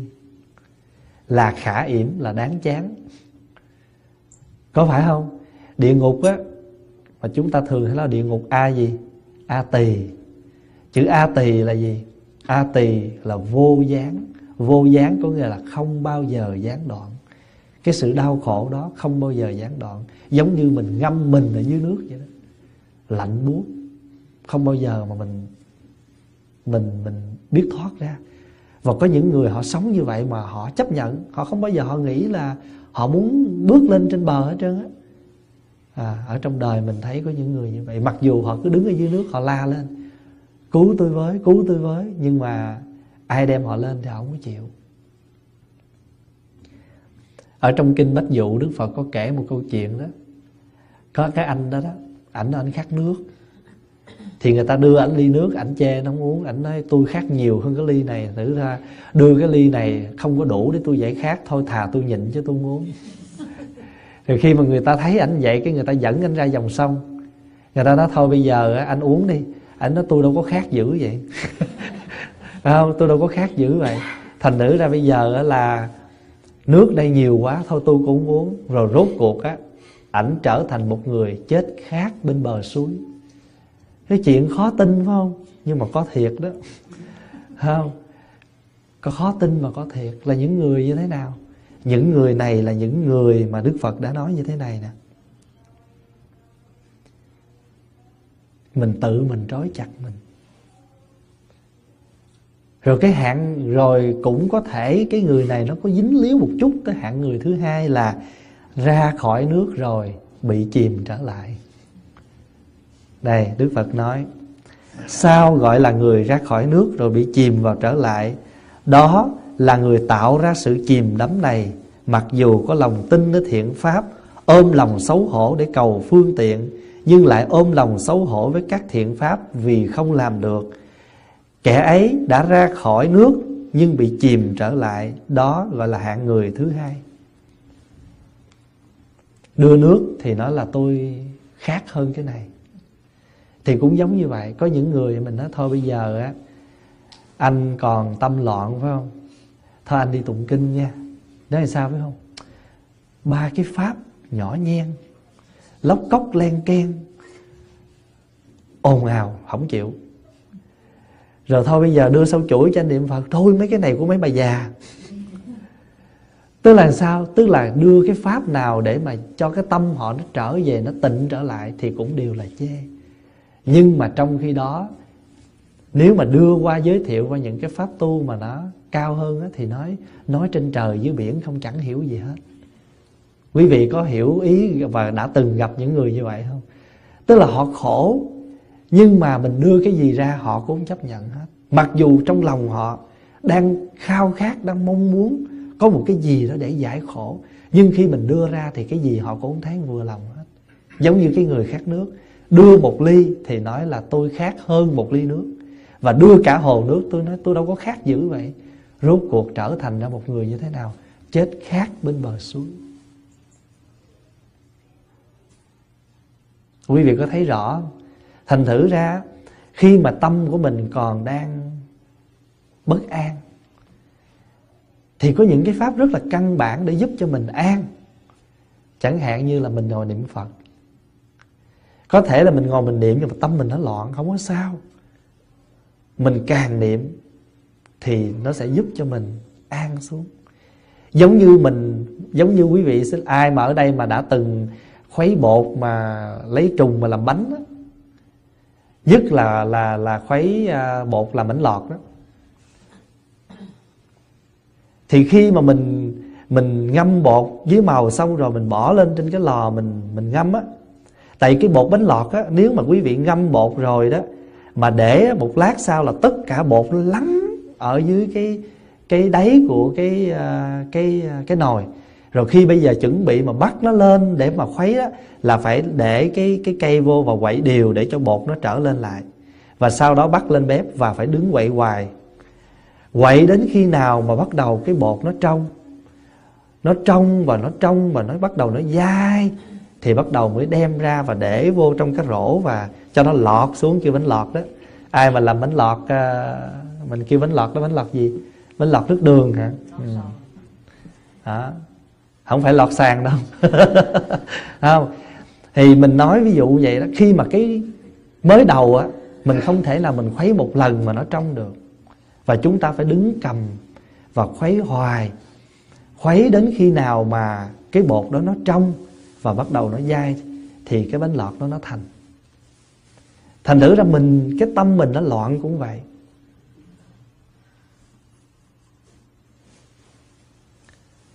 Hôm rồi à, có một phật tử thì lên thăm. Thì à, chú ngồi chú mới nói thầy nhiều lúc con ngồi con cũng buồn con làm phật tử lâu năm lắm rồi chứ mà sao con cứ còn động tâm hoài? À? con cứ tâm động hoài. À? cái pháp hoàng mới nói, giỡn mà nói, hình như pháp hoàng nghe đâu đó một vị tổ dạy. Một người đệ tử nói dạ thưa thầy. Con bị động tâm. Thì ông thầy mới nói, vậy tâm con đừng động.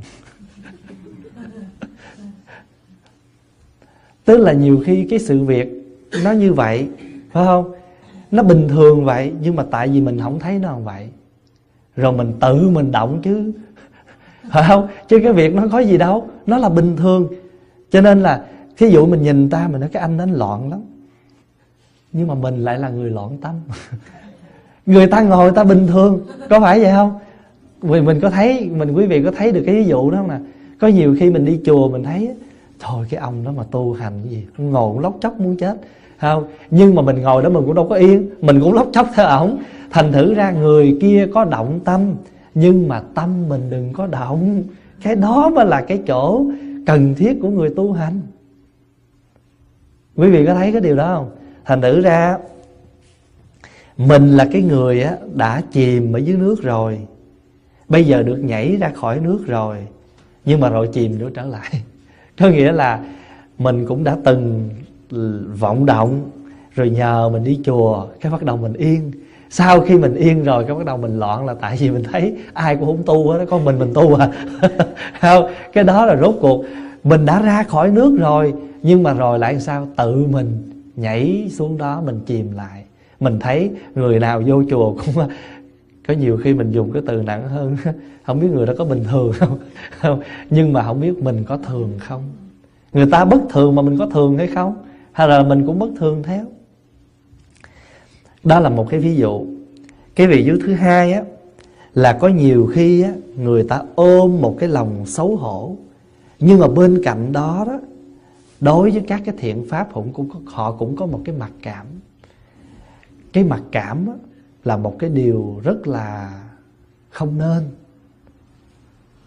Tại vì khi mà mình mặc cảm rồi á là cái con đường tu của mình nó không có tiếng. Thí dụ thôi, một cái rất đơn giản là tôi mặc cảm, tôi nghèo, tôi không có tiền cho nên tôi không đi chùa. Và cái mặc cảm đó là cái mặc cảm không có đúng. Có ai biểu là mình đi chùa phải có tiền đâu? Phải không? Người ta đã để cái thùng rất là rõ ràng là tùy hỷ công đức. Có nghĩa là anh tùy tâm của anh anh cúng dường mà thiệt sự anh cúng hay là không cúng, chẳng ai biết hết. Cho nên đừng có mặc cảm. Còn nếu bạn bè mà tới vận động mình, nói à, tôi sắp sửa về việt nam, tôi à, giúp cho người kia nghèo khổ gì đó. Có thì mình cúng theo cái có, mình không có nó dạ lúc này tôi kẹt. Có sao đâu. Không có gì phải trở ngại hết. Mình giúp được thì mình giúp. Mà thí dụ giờ mình có 5 đồng, mà khả năng mình chỉ có thể trích ra được một đồng thì mình giúp không mà cái người mà đi vận động á, là phải là cái người biết cái độ lượng. Là mình đã đi vận động, không phải vận động cái số tiền mà mình vận động cái tâm của người ta, cái tâm từ bi của người ta. Cho nên người ta có đưa một đồng, cũng cứ quan hỷ mà nhận chứ nói làm gì con đồng vậy? Không? Cái đó là không có vận động được. Mười như vậy là không có khả năng đi vận động. Cái quan trọng trước hết là mình phải vận động cho được cái tâm từ bi của người đó cái lòng thương của người đó. Còn cái chuyện vật chất là mình tính sao? Cái người mà làm việc từ thiện là phải vận động như vậy đó.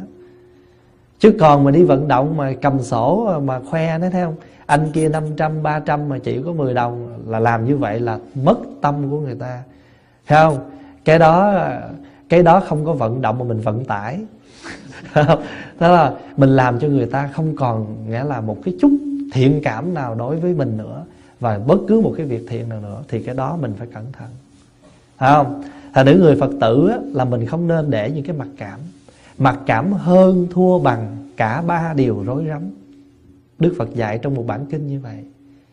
Mặc cảm hơn người ta Thua người ta, bằng người ta Ba cái đó nó vẫn làm cho tâm tư mình bị rối rắm. Rồi có những người á Họ có cái thiện chí Họ muốn phục thiện. Nhưng mà quý vị biết không? Người ta đã sống ở trong một cái trần lao Nó quá lâu ngày. Mà khi người ta trở về, người ta phục thiện á, thì mình phải cho người ta có thời giờ. Chứ còn mình muốn người ta phải phục thiện liền nó khó lắm. Pháp Hòa đưa một ví dụ. Hai cha con, Hãy nói chuyện với nhau là gây Rồi cha nói những lời Để cho người con đau khổ. Rồi con nói lại với cha Những lời đau khổ.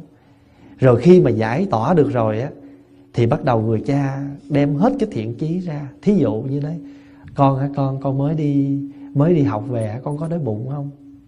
Hay là mỗi lần đó là ổng lỡ ổng đụng nó thí dụ vậy ổng nói à, xin lỗi con. Thì dĩ nhiên là người ta mới bắt đầu người ta trở về cái con đường mà à, thiện pháp đó. Thì cái đứa con nó phán cho con câu nó nói, sao ba nói chuyện nghe thấy nó giả dối quá? Quý vị thấy không? Mặc có thể cái lời nói đó nó chưa có có thể nó chưa xuất phát được tận cùng cái trái tim, nhưng mà ít ra người đó đang thực hiện những cái gì mà người đó muốn làm. Và chúng ta phải nên mở lòng để cho cái người đó làm cái chuyện đó. Thành thử ra mình phải mình phải tìm cách, mình ủng hộ, mình giúp đỡ cho cái người đó có một cái con đường để họ trở về. Cho nên đó mình đừng có thấy à, cái người kia họ dở rồi mình nhận cho họ chìm. Và chúng ta phải tìm cách cứu vớt họ. Có nhiều người hút thuốc hoặc là uống rượu rồi bắt đầu là quyết tâm bỏ bỏ đâu được thời gian 2 tháng 3 tháng gì rồi, cái thấy cái người kia hút. Mình không hút thì cũng kỳ, bắt đầu hút lại. Mà quý vị biết cái người nào mà đã bỏ rồi, mà hút trở lại á, họ ghiền còn hơn lúc trước nữa. Không biết sao kỳ vậy đó. Thấy không, thành thử ra mình phải quyết tâm. Có nhiều khi mình bệnh, bác sĩ bảo là mình do cái ăn cái đó hay làm cái gì đó mình bệnh mới vừa bớt bớt rồi thèm quá, ăn trở lại, bệnh tiếp. Phải không? Thì mình đưa những cái ví dụ nhỏ nhỏ như vậy thôi. Để mình thấy là những cái nhỏ mình chưa khắc phục được á, thì chắc chắn có những cái đắm chìm mà nó nó mạnh bạo hơn, nó sẽ làm cho mình dễ chìm lắm. À. Rồi bây giờ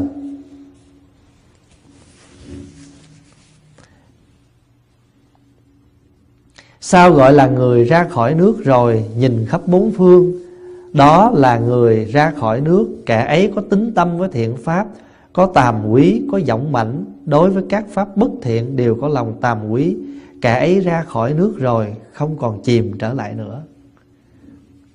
Có những người ra khỏi nước rồi Tu và tập những cái thiện pháp Và có cái tâm tàm quý. Tàm quý là gì? Tàm quý là cái tâm hổ thẹn. Tàm quý là tâm hổ thẹn. Mình làm một cái gì sai, Thì mình viết phát cái tâm hổ thẹn Thì rất tốt. Ở trong kinh, Đức Phật cũng có dạy, Ở trên đời có hai hạng người được được gọi là trân quý. Người thứ nhất là không bao giờ làm lỗi. Người thứ hai, làm lỗi rồi biết ăn năn. Tại vì sao? Vì nếu chúng ta không mở và không chấp nhận người ăn năn á, Thì có lẽ trên đời này ai cũng đều là những người tội hết. Tại vì ai trong chúng ta mà đã không từng làm những cái lỗi lầm, dù lớn hay là nhỏ, dù cố ý hoặc là vô tình, thì cũng đều có hết á. Cho nên đó mình phải mừng nha. Nếu mình là cái người mà đã nhảy vô trong nước rồi, mà được nhảy lên đó là phải mừng. Phải mừng là vì sao? Vì mình có cơ hội được nhảy lên. Hay là bây giờ á mình quen với một cái người bạn hai năm ba năm vậy đó tự nhiên cái người đó họ xấu. Thì mình mới ăn mình mới hối hận mình nói trời ơi mình à, bây giờ người đó như thế này như thế kia. Nhưng mà mình phải mừng là bởi vì trong vòng hai ba năm mà người đó đã lộ ra được cái chân tướng của họ nếu mà mình 10 năm, 20 năm thì mình sẽ còn lỗ lã và đau khổ đến cỡ nào. Quý hiểu ý không? Thành thử ra mình phải mừng khi một cái sự việc gì nó được phơi bày ra ánh sáng dù mình là những đương sự đau khổ nhưng cái đó vẫn còn mừng là gì mình đã nhảy vô trong nước và chúng ta đã biết nhảy lên trên bờ tu theo phật là mình phải học cho được cái đó cho nên mỗi ngày mà khi mà thỉnh đại hồng chung á buổi sáng á, là người ta nhắc mọi người nè đại chúng hôm nay có một ngày mới. 24 giờ trọn vẹn sống với nó. Rồi buổi chiều thì ta thỉnh chuông ta nhắc mình sao? Ngày hôm nay đã qua mạng sống mình cũng theo đó mà giảm dần. Đại chúng hãy nhìn cho kỹ ta đã làm gì thì nếu mà ngày hôm nay mình chưa hay, thì ngày mai mình phải làm hay hơn. Chứ không có cái, tức là đạo phật dạy mình đó là khi quán chiếu và nhìn thấy, không phải để mình tự mình sầu khổ, đau buồn, mà để mình phấn chấn mình đi lên. Và khi mình thấy rằng, trời ơi, mình đã một lần nhảy vào nước mà may quá, mới lội có 5 ngày cái mình được nhảy ra. Còn đỡ hơn người ta nhảy 5 tháng, người ta chìm trong đó 5 năm hay là 50 năm cho nên đối với Pháp Hòa đó, rất là nhiều người, họ lên, họ than chuyện này, chuyện kia. Pháp Hòa nói vậy, mừng đi. Mừng là ngày hôm nay mọi việc nó được kết thúc. Chứ đừng có làm như cái kiểu là, tôi xin người cứ gian dối. Phải không? Khi tôi hỏi người nó yêu tôi à, dù không yêu cứ nói yêu đi. Tôi thích những cái lời gian dối đó. Như vậy là mình trốn sự thật. Hơn thành nữa mình phải mạnh dạn mình thấy cái sự thật và chấp nhận cái sự thật. Và khi mình thấy được cái đó rồi á là mình là người tự tại và giải thoát. Cho nên ở trong này đức phật mới nói nhảy ra khỏi nước rồi nhìn khắp bốn phương. Lúc đó mình thông dong. Mình là cái người có quyền nhảy lên mặt nước và đứng đó dưới ánh nắng mặt trời để cho bộ áo của mình nó được khô và mình có thể nhìn khắp bốn phương và thấy sao? Thấy muôn người còn chìm trong khổ nạn. Bỗng giật mình kinh hãi. Mình đã thấy rằng mình đã quay đầu nhìn lại. Biết rằng bến kia còn xa, nhưng mà không sao, mình lên bờ rồi. May nhờ chuông đại hồng khua vang tỉnh mộng, quyết một lòng làm lại thân tâm. Bao nhiêu tội ác lỗi lầm, nguyện sinh hoàn toàn gột sạch cho nên nó nhiều khi cái đau khổ nó là gì? Đó là tiếng chuông. Tiếng chuông tỉnh thức.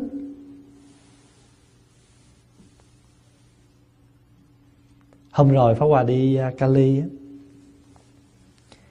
thì à, có một cái anh đó. Pháp Hòa đi tụng kinh cho một bà cụ. Nhưng mà trong một cái nhà hòa, nhà hoàng đó đó, có một cái chú này năm mươi mấy tuổi, sống độc thân ở vậy và nuôi cha, nuôi mẹ. Thì chú đi luộc một gói bún.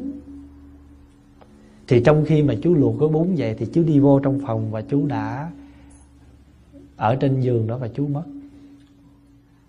Quý vị thấy không? Gọi là đi luộc một gói bún mà bún chưa chín mà mình đã qua một cái đời khác rồi. Cho nên tổ quy sơn mới nói đó không? gọi là một cái hơi thở là mình đã đã qua đời khác rồi. Chuyển tức tức thị lai sanh. Chỉ một cái hơi thở dứt thôi là mình đã qua đời khác. Thì khi pháp hòa tụng cho bà cụ này thì thấy cái chú này kế bên, thôi mình cũng còn dư thì giờ mình xách áo qua mình xin tụng thời cho chú. Kết duyên. Thì trong khi mà bà Hòa qua tụng như vậy đó, thì Pháp Hòa cũng có nói với người nhà sau khi tụng thời kinh thì Pháp Hòa có vài lời chia sẻ với trong gia đình. Thì Pháp Hòa mới nói với tất cả mọi người trong nhà, cũng như tất cả những Phật tử đi hộ niệm ngày hôm đó. Đây là một tiếng chuông. Chú đang khỏe mạnh, chú đang đi làm, không có một cái triệu chứng gì bệnh hoạn hết. Và chiều hôm đó đi luộc một gói bún để mà ăn. Mà trong khi gói bún chưa chín thì chú đã đã đi rồi thành nữ cái sự mà vô thường á nó có thể đến với tất cả chúng ta. Và khi mình thấy một cái người ra đi như vậy đó là một tiếng chuông. Cho nên một cái đau khổ nó đến đó, nó là một tiếng chuông. Hồi chiều này à, hồi trưa này đó sau khi mà mình sinh hoạt cái buổi sáng xong thì à, chú tiến mới vô nói máy trục trặc và thâu nó không có được à, à, suôn sẻ lắm. Thì Pháp Hòa mới nói không sao đủ thất bại để bắt đầu. Hồi sáng mình học bài đủ mà phải không? Thành thử là nói không sao đủ thất bại để thêm máy mới. Thành thử ra cái tất cả đều là một bài học hết. Tất cả đều là bài học hết. Phải không? Thành thử ra mình có té mình đứng dậy. Cái đó mới quý. Phải không? Chứ còn mà té mà không đứng dậy á, thì mình nằm dạ. À, có hai, hai thầy trò mà sống nghèo lắm lam lũ lắm kho nồi đậu hũ mà thầy cũng cho đệ tử ăn. Rồi cứ đệ tử nó cứ nhìn cái nồi đậu hũ nó thèm hoài nó thầy ơi sao không cho con ăn? Ổng mới nói để vậy đi con cho nó ngâm. Nó ngâm có nghĩa là cho nó thấm. Cái bữa nọ ổng té cái ông nói con con đỡ thầy dậy con. Nó nói thôi thầy nằm vậy đi cho nó ngâm.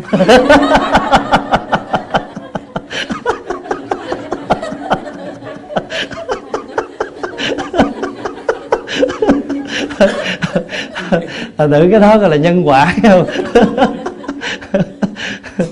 Không Thật tự ra đó Đây là cái người thứ à, người thứ ba mà Đức Phật dạy ha. Tức là mình đi vào trong nước rồi Mình nhảy lên. Đừng buồn, đừng khổ. Và mình phải thấy rằng Mình may mắn quá Mình có cơ hội mình nhảy ra khỏi được mặt nước. Và mình có quyền mình nhìn khắp bốn phương. Ở đây ai chưa một lần đau khổ? Cho nên người nào cũng có khổ Và chính những cái đau khổ đó Nó làm nên con người mình vững chãi Khôn lớn lên. Có những lúc á Mình làm một cái việc à, Không có chánh niệm thôi Mặc dù nó không có tác hại Nhưng mà tự trong lòng mình cảm thấy Nó rai rứt. Nhiều ngày và sau đó đó, mình có thể mình nói được cái nhịp cầu đó với người đó, thì mình mừng lắm, mình trân quý cái cái sự nói lại đó cho nên đó là cái chuyện này nó giống như là sau một cơn mê vậy đó. không tình người sau cơn mê vẫn xanh rồi đây qua cơn mê, sông hồ lại thành nguồn, xuôi về ngọt quê hương thôi, không có gì hết đó. cho nên ai mà biểu mình không có được quyền sửa đổi. Mình tu là mình có quyền mình sửa. Có một lần á, thầy pháp hòa mới à, nhờ một cái vị đó viết cho một cái giấy gì đó để mình dán cho nó đẹp. Thì cái vị đó à, mà mình cần phải viết nhiều bản thì Pháp Hòa mới cái vị đó viết xong thì mình thấy nó không có được đẹp lắm. Nhưng mà lúc đó mình dở quá đi. Mình mới nói dạ thôi, được rồi. Để nó đi. Vì sau khi mình nói như vậy rồi đó, cái giây phút mình vừa nói xong câu đó thì mình ân hận vô cùng. Mình ân hận là tại sao mình không để cho cái người đó viết. Mặc dù mình cần tới 50 bản thì mình có thể nhờ cái người đó viết cho mình ba bản năm bản thôi. Người đó vẫn vui. Mình nói thôi được rồi để nó đi. Thì chẳng khác nào mình nói với người đó là anh viết chữ xấu lắm. Quý vị thấy không? Mà chỉ một cái cái hành động một cái lời nói ngay cái giờ phút đó mà nói xong rồi là trong lòng mình nó nó quặn đau. Nó quặn đau là tại sao? Tại sao mà mình lại à, mình lại phản ứng một cách mau như vậy. Mình không để cho mình có đủ dài giây để mà mình lặn xuống mình biết phải giải quyết bằng cách nào. Thì quý vị biết và sau khi mà như vậy rồi thì mà cũng may lắm. Cái anh đó anh không có giận. Ảnh coi rất là bình thường. Thành thử ra thầy trò huynh đệ vẫn nói chuyện vẫn vui vẻ bình thường. Chào pháp Hoạch trân quý cái giờ phút đó vô cùng là vì mình đã thiếu chánh niệm. Mình hành xử không, chưa có được hay, mà người đó không có giận mình. Và trong cuộc đời của mình đó, nếu mà mình có chánh niệm là mình sẽ thấy được những cái giờ phút như vậy. Và không phải chỉ một lần, và rất nhiều lần như vậy. Cho nên tất cả đều là một bài học cho mình hết. Đều là bài học hết.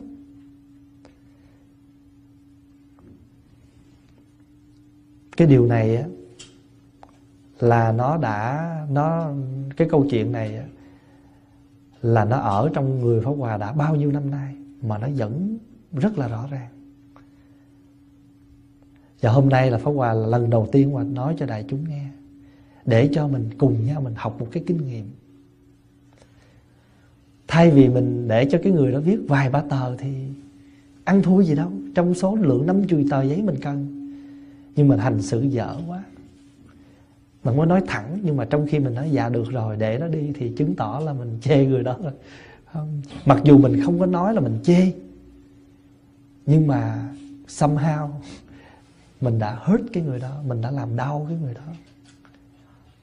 Thì quý vị tưởng tượng là trong đời sống vợ chồng, có những câu nói mình nói ra, đau lòng vô cùng nhưng mà chính mình không tự biết. Mà cái người nghe đó, rất đau. Có một cái một cái người đó, trong khi mà cái cơn giận và đã mắng người vợ, bà biết bà là cái loại gì không? Thì cái chữ loại đó nó nặng nề lắm. Và cái người vợ, mặc dù không nói ra nhưng mà nó đau, như là dao cắt ở trong lòng. Và không có nói được với ai hết. Và chỉ có thể nói với thầy. Tại vì biết thầy là người cảm thông. Nhưng mà khi mà nói ra là có chuyện nữa. Tại vì khi mà cái người nói, họ đã không không thấy được lời họ nói gì, thì càng nói ra, thì họ họ muốn bảo vệ, họ muốn bảo vệ cái cái cái cái điều mà họ nói thì họ sẽ bất chấp và có khi họ còn nói hơn nữa. Thì mình tự mình chuốt thôi, cho nên thôi, nhận một chữ đó mà mà ôm, mà tự chuyển hóa lấy thôi. Cho mình mà người đệ tử Phật á, trong đời sống hàng ngày, mình cũng nên cẩn thận những cái lời nói của mình. Mặc dù mình coi nó không có gì hết, nhưng mà cái người nghe đó, họ nghe kỹ lắm. Họ nghe rất là kỹ, và nhất là cái người thương người mình càng thương chừng nào mà nói nặng mình chừng nào á, thì mình lại càng đau chừng đó. Thà là nó là bá dơ bá tánh, đâu nói mình cũng buồn. Nhưng mà người đã đã sống chung với mình mà, nghĩa là gọi là ăn chung mâm, ở chung nhà với mình, mà nói những lời đó thì mình lại rất buồn và rất đau. Sao gọi là người ra khỏi nước rồi đứng vững, Hoặc có người đã ra khỏi nước Kẻ ấy có tính tâm với thiện pháp Có tàm quý, có lòng tinh tấn. Đối với thiện pháp đều ôm lòng hổ thẹn Kẻ ấy đối với ba kiết sử đã chấm dứt Thành đạt Tu đà hoàng không còn thối chuyển. Đó là hạng người thứ tư Ra khỏi nước rồi đứng vững. Tu đà hoàng là gì? Tu đà hoàng là một cái quả chứng Ở trong đạo. Người tu Trong cái quả thanh văn á, Có bốn cái quả chứng chứng được bốn quả. Thì quả thứ nhất là tu đà hoàng và người ta đã dịch cái cái cái chữ tu đà hoàng là gì? Tu đà hoàng có nghĩa là nhập lưu. Nhập lưu tức là nhập vào cái dòng thánh.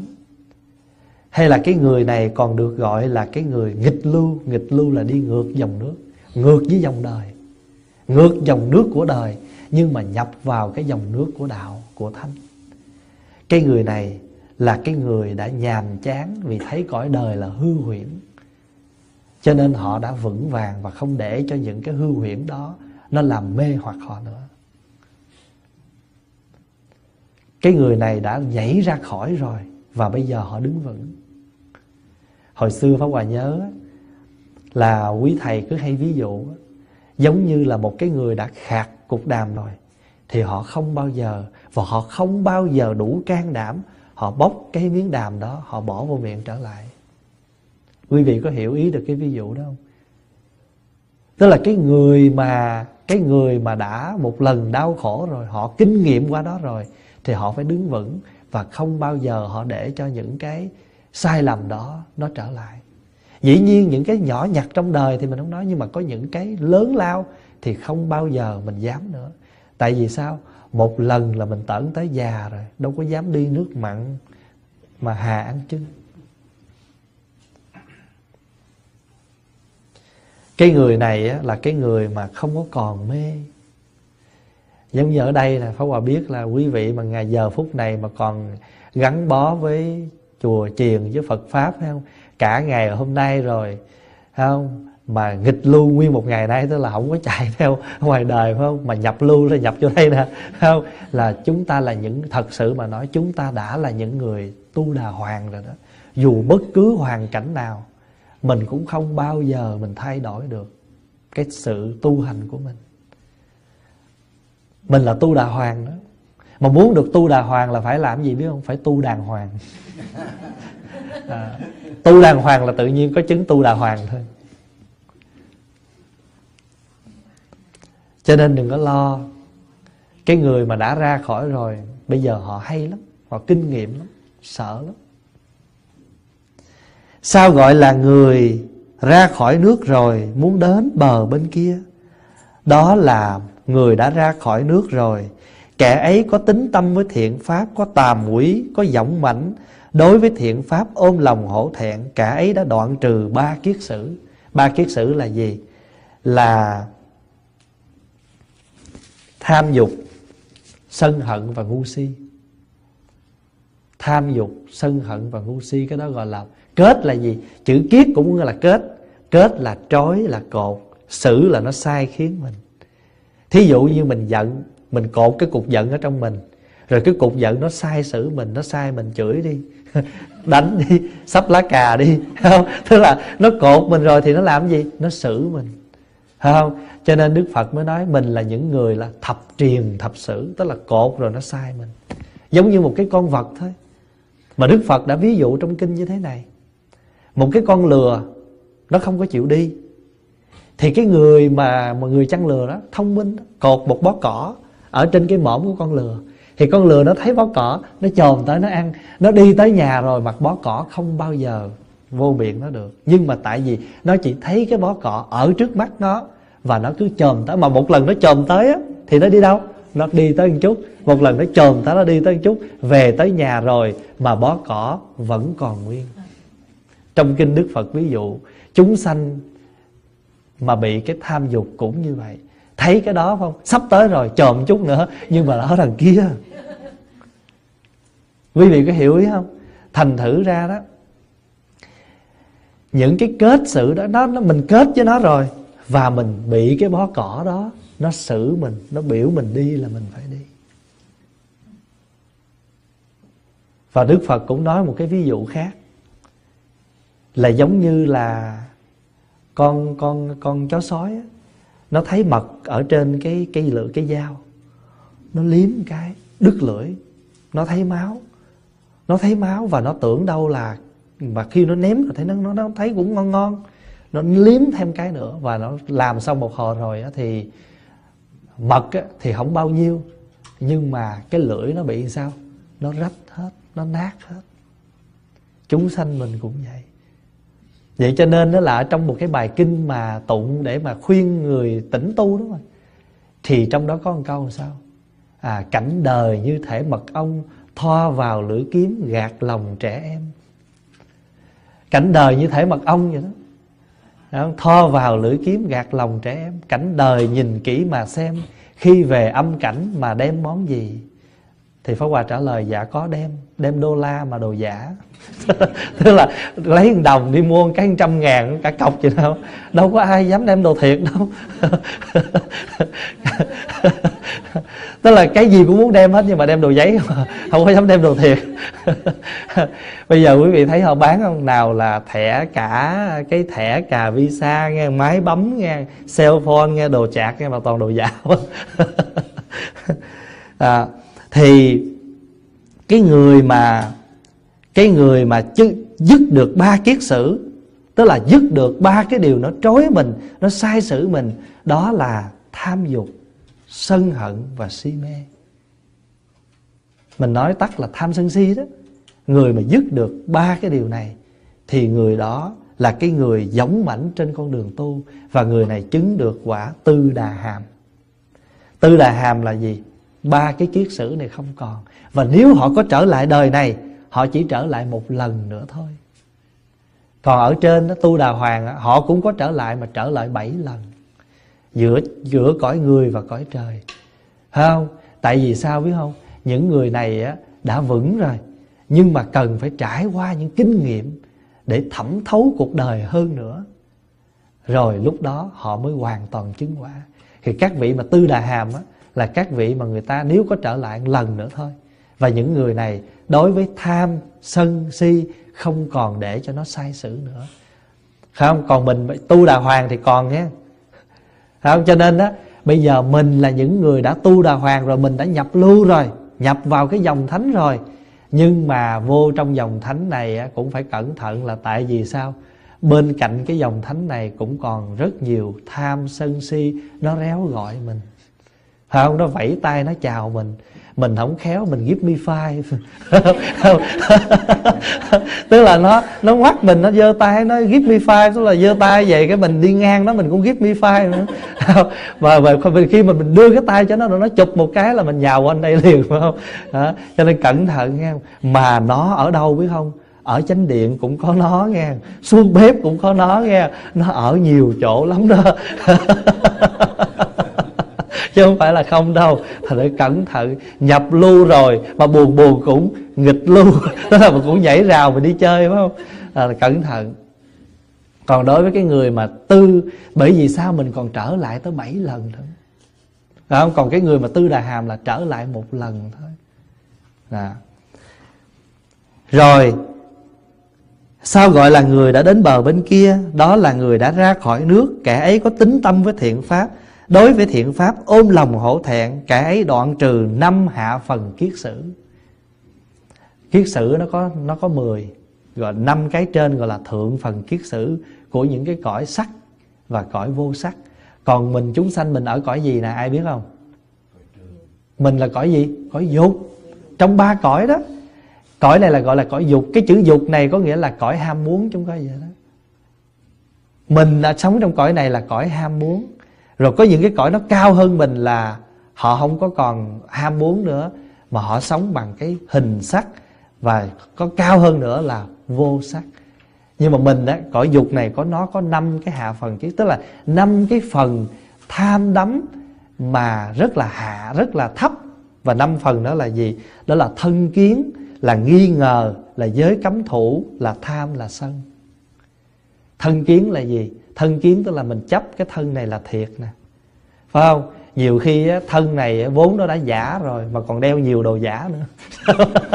Đó là thân kiến đó là mình thấy sao? Mình thấy mình cho nó là thiệt, thành thử ra, nhưng mà thật sự nó là gì? Nó là giả. Nhưng mà rồi chính vì nó giả cho nên mình muốn decorate, mình muốn làm thêm cho cái giả này đẹp nữa, cho nên mình đem nhiều cái đồ giả mình đeo lên đó không? Mà thường thường cái đồ giả thì nó rẻ tiền. Đó thành thử ra mình chấp cái thân là thiệt. Cho nên ai mà một khi cái gì mà nó xảy xuất đến cái thân của mình va chạm đến cái thân mình thì mình rất là buồn và mình có thể ăn thua đủ để bảo vệ cái thân này. À, rồi cái đó là gọi là nghi ngờ. Nghi ngờ cái gì? À mình nếu mà nói tới chuyện tu hành thì mình nghi ngờ giáo pháp mình nghi ngờ những người đồng tu và thậm chí vợ chồng sống nhau mà cũng tin nhau nữa. Không? Thí dụ vậy. Hoặc là mình nghi ngờ bạn bè. Mà nói chung á, cái người mà họ sống mà họ nhiều cái nghi, họ cũng khổ lắm. Nhiều cái nghi khổ lắm. Rồi cái người mà giới cấm thủ là gì? Tức là mình cố chấp theo những cái tà thuyết không có chân chánh. Ừ, thí dụ như à, đi cúng à, đình cúng miễu dụ như này kia, lên đồng, lên cốt rồi, thí dụ vậy mặc dù mình biết mình không có bác những cái đó, nhưng mà đối với phật thì phật bảo là những cái đó nó không có phải là những cái chỗ rốt ráo, chỗ cứu cánh và phật khuyên chúng ta không nên theo. Và cái cuối cùng là cái tham và cái sân. Đó là năm cái hạ phần kiết sử. Và người người nào á mà đoạn trừ được năm cái hạ phần kiết sử này, cái người này được gọi là anaham anaham hàm hàm là những người không còn trở lại, gọi là bất lai sao người không còn trở lại. Và cái người này á, đối với năm cái trói buộc này không có còn nữa. Là gọi là đoạn được năm cái hạ phần kiết sử. Người đó ở trong cái cái quả đó và chứng được cái chỗ gọi là niết bàn. Niết bàn tức là lúc đó cái tâm tư của mình nó hoàn toàn nó tĩnh lặng. Thì bây giờ mình nói, thí dụ mình nói trong đời vậy, là mình là những cái người mà đối với những cái năm cái hạ phần kiết sử này mình giảm bớt rồi. Không mặc dù chưa nhưng mình giảm. Rồi bây giờ nè mình an vui mình sống cái cuộc đời tu hành như thế này. Đến một cái ngày cuối cùng mà mình ra đi thì mình cũng ra đi nhẹ nhàng vậy thôi. Tại vì sao? Mình biết rằng có tham cho lắm đó, thì cũng sao? Cũng không đem được bao nhiêu. Ha? Mình có dành đất cỡ nào đi nữa mà nếu mà mình có chôn đi nữa thì cũng chôn một khúc nào đó thôi không giống như là tần thủy hoàng mà dành cho nhiều rồi tới hồi chôn dám không có dám để mộ thiệt chỗ nào hết và tới bây giờ trung quốc cũng đâu biết chỗ nào là mộ thiệt của ông. Và chỉ phỏng đoán là một cái vùng đất nào đó thôi mà chưa ai dám xác định chỗ nào là đất. Thường thường các ông vua mà vua mà nhiều khi vua mà sống mà mà mà mà sống mà à, hành hạ dân tình chừng nào thì khi chết nó càng sợ hãi chừng đấy. Thì sợ người ta đến phá mộ của mình vân vân. Thì cuộc đời cũng vậy. Mình thấy rất là rõ thấy không? Danh mà chi lợi lắm mà chi. Bả công danh bọt nước ra gì mùi phú quý vần mây tan hiệp. Giàu đến đâu cũng trong một kiếp sang cho lắm cũng chỉ một đời. Thành ra mình thấy được như vậy á, Thì đối với năm cái này á, Nó không có còn đủ. Cái người mà tham vậy đó Phật gọi là gì? Thấp Hạ phần kiết sử. Nhưng mà mình thấy được nó rồi Mình để không để cho những cái này Nó sai sử mình nữa. Cho mình chứng được cái quả A-na hàm Rồi cái cuối cùng là Sao gọi là người đã đến bờ bên kia Là tịnh chí đứng bên kia? Đó là những người đã ra khỏi nước rồi Đứng trên bờ. Kẻ ấy có tính tâm với thiện pháp Có tàm quý, có giọng mạnh Đối với thiện pháp đều có ôm lòng hổ thẹn. Hoặc có người đã đoạn tận hữu lậu Thành vô lậu.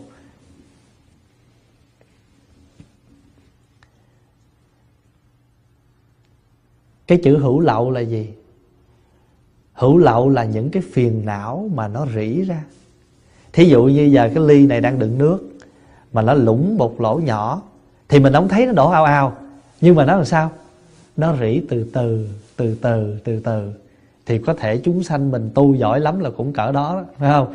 Tức là mặc dù mình không thấy cái người kia giận dữ, Nhưng mà sao hờn? Hờn xong rồi hờn mang mát, Kêu hờn mát đó không, hờn một ngày, hờn hai ngày, tức là nó rỉ ra từ từ, cái đó là hữu lậu.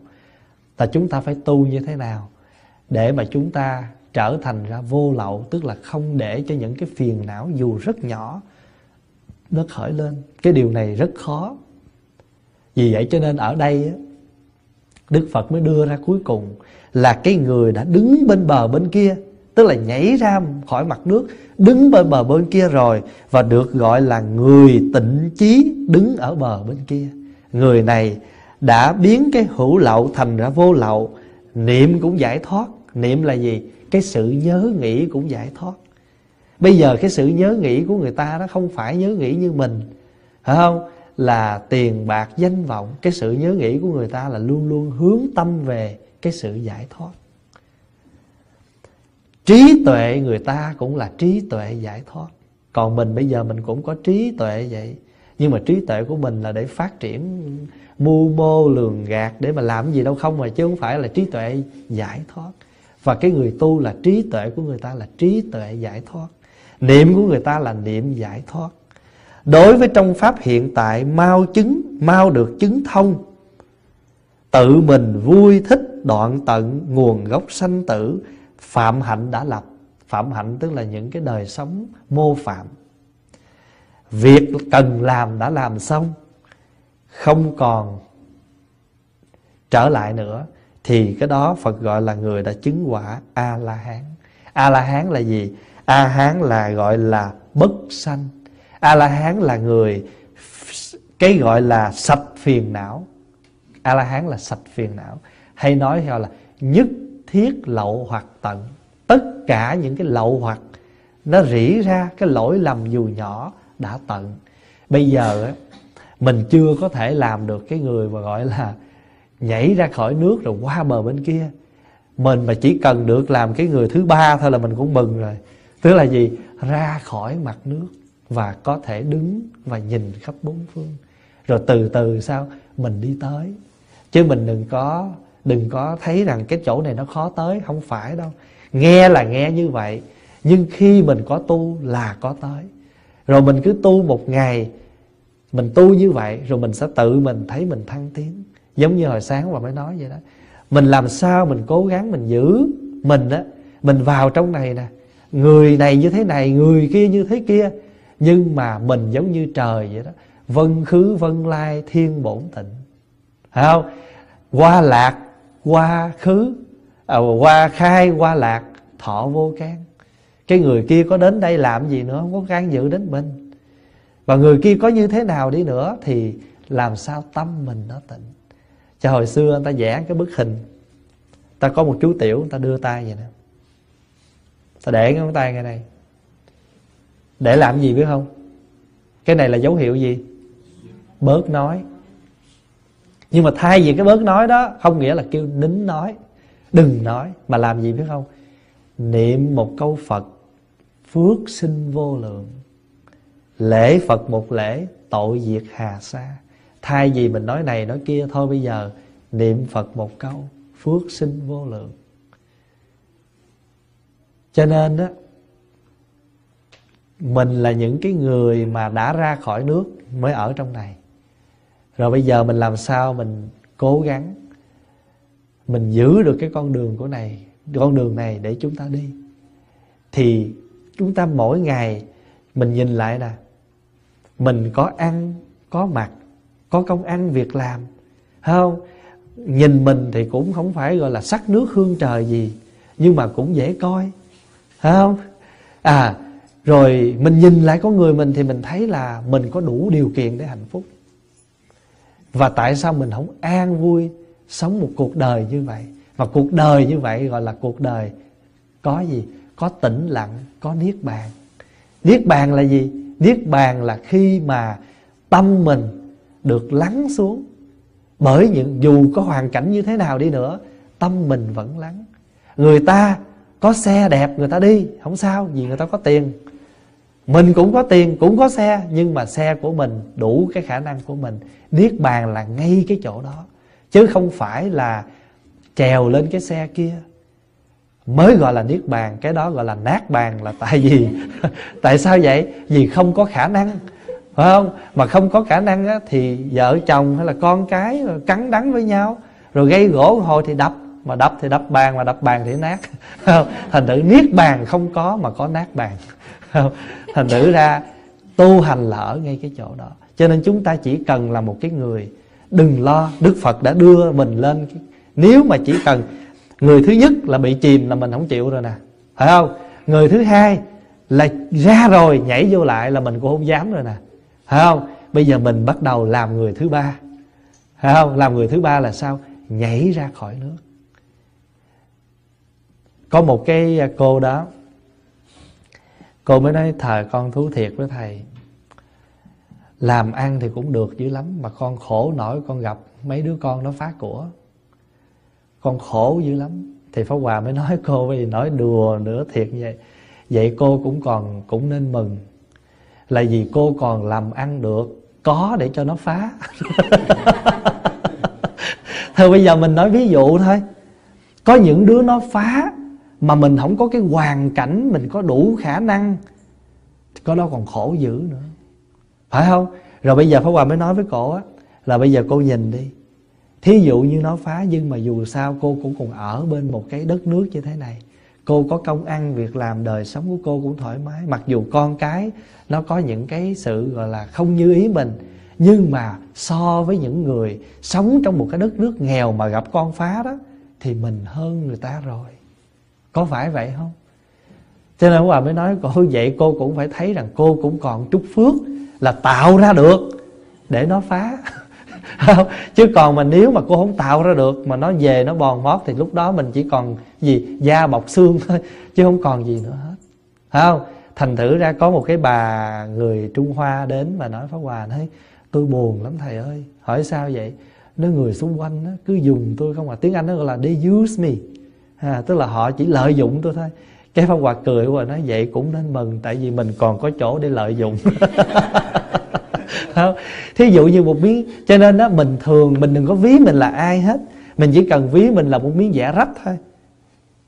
Thì dùng cho cái miếng vẽ rách đó mà người ta có đã là miếng vẽ rách thì còn cái gì không, mà người ta có chùi bàn cũng được, chùi ghế cũng được, mà thậm chí người ta dục cái dưới chân rồi ta chà chà chùi cái miếng dầu nó đổ rồi ta dục cũng không sao. Vì mình đã từng ví mình mà là miếng giả rách rồi, thì sao cũng được hết. Không, ta không là gì, nhưng mà là tất cả. Cái đó mới là cái chỗ mà chúng ta sống và chúng ta làm. Mình không là gì hết chính mình thấy mình không là gì cho nên chỗ nào cần mình mình cũng là gì hết á. Chứ còn nếu mình đã là gì rồi thì mình không được làm gì nữa hết.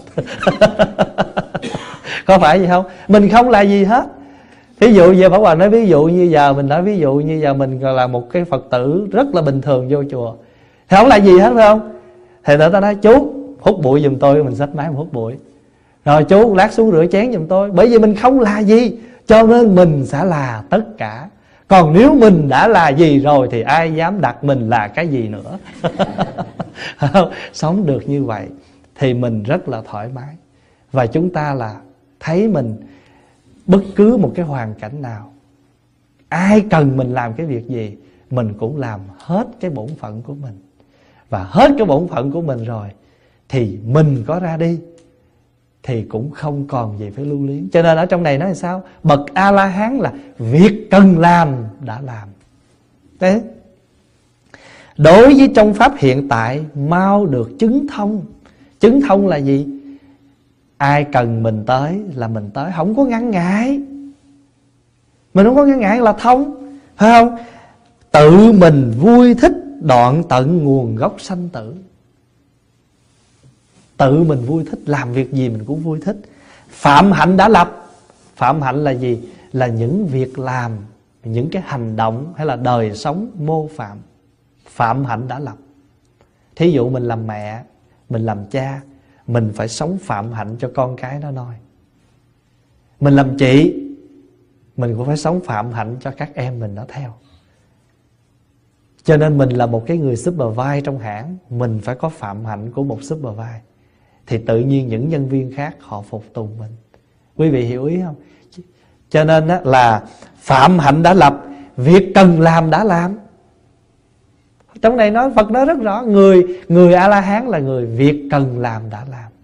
Làm xong tất cả mà không thấy mình làm gì hết, thì cái người đó gọi là thõng tay vào chợ trong 10 bức tranh chăn châu. Cái người mà, cái người mà đi vào chợ nhưng mà rất là thông dong.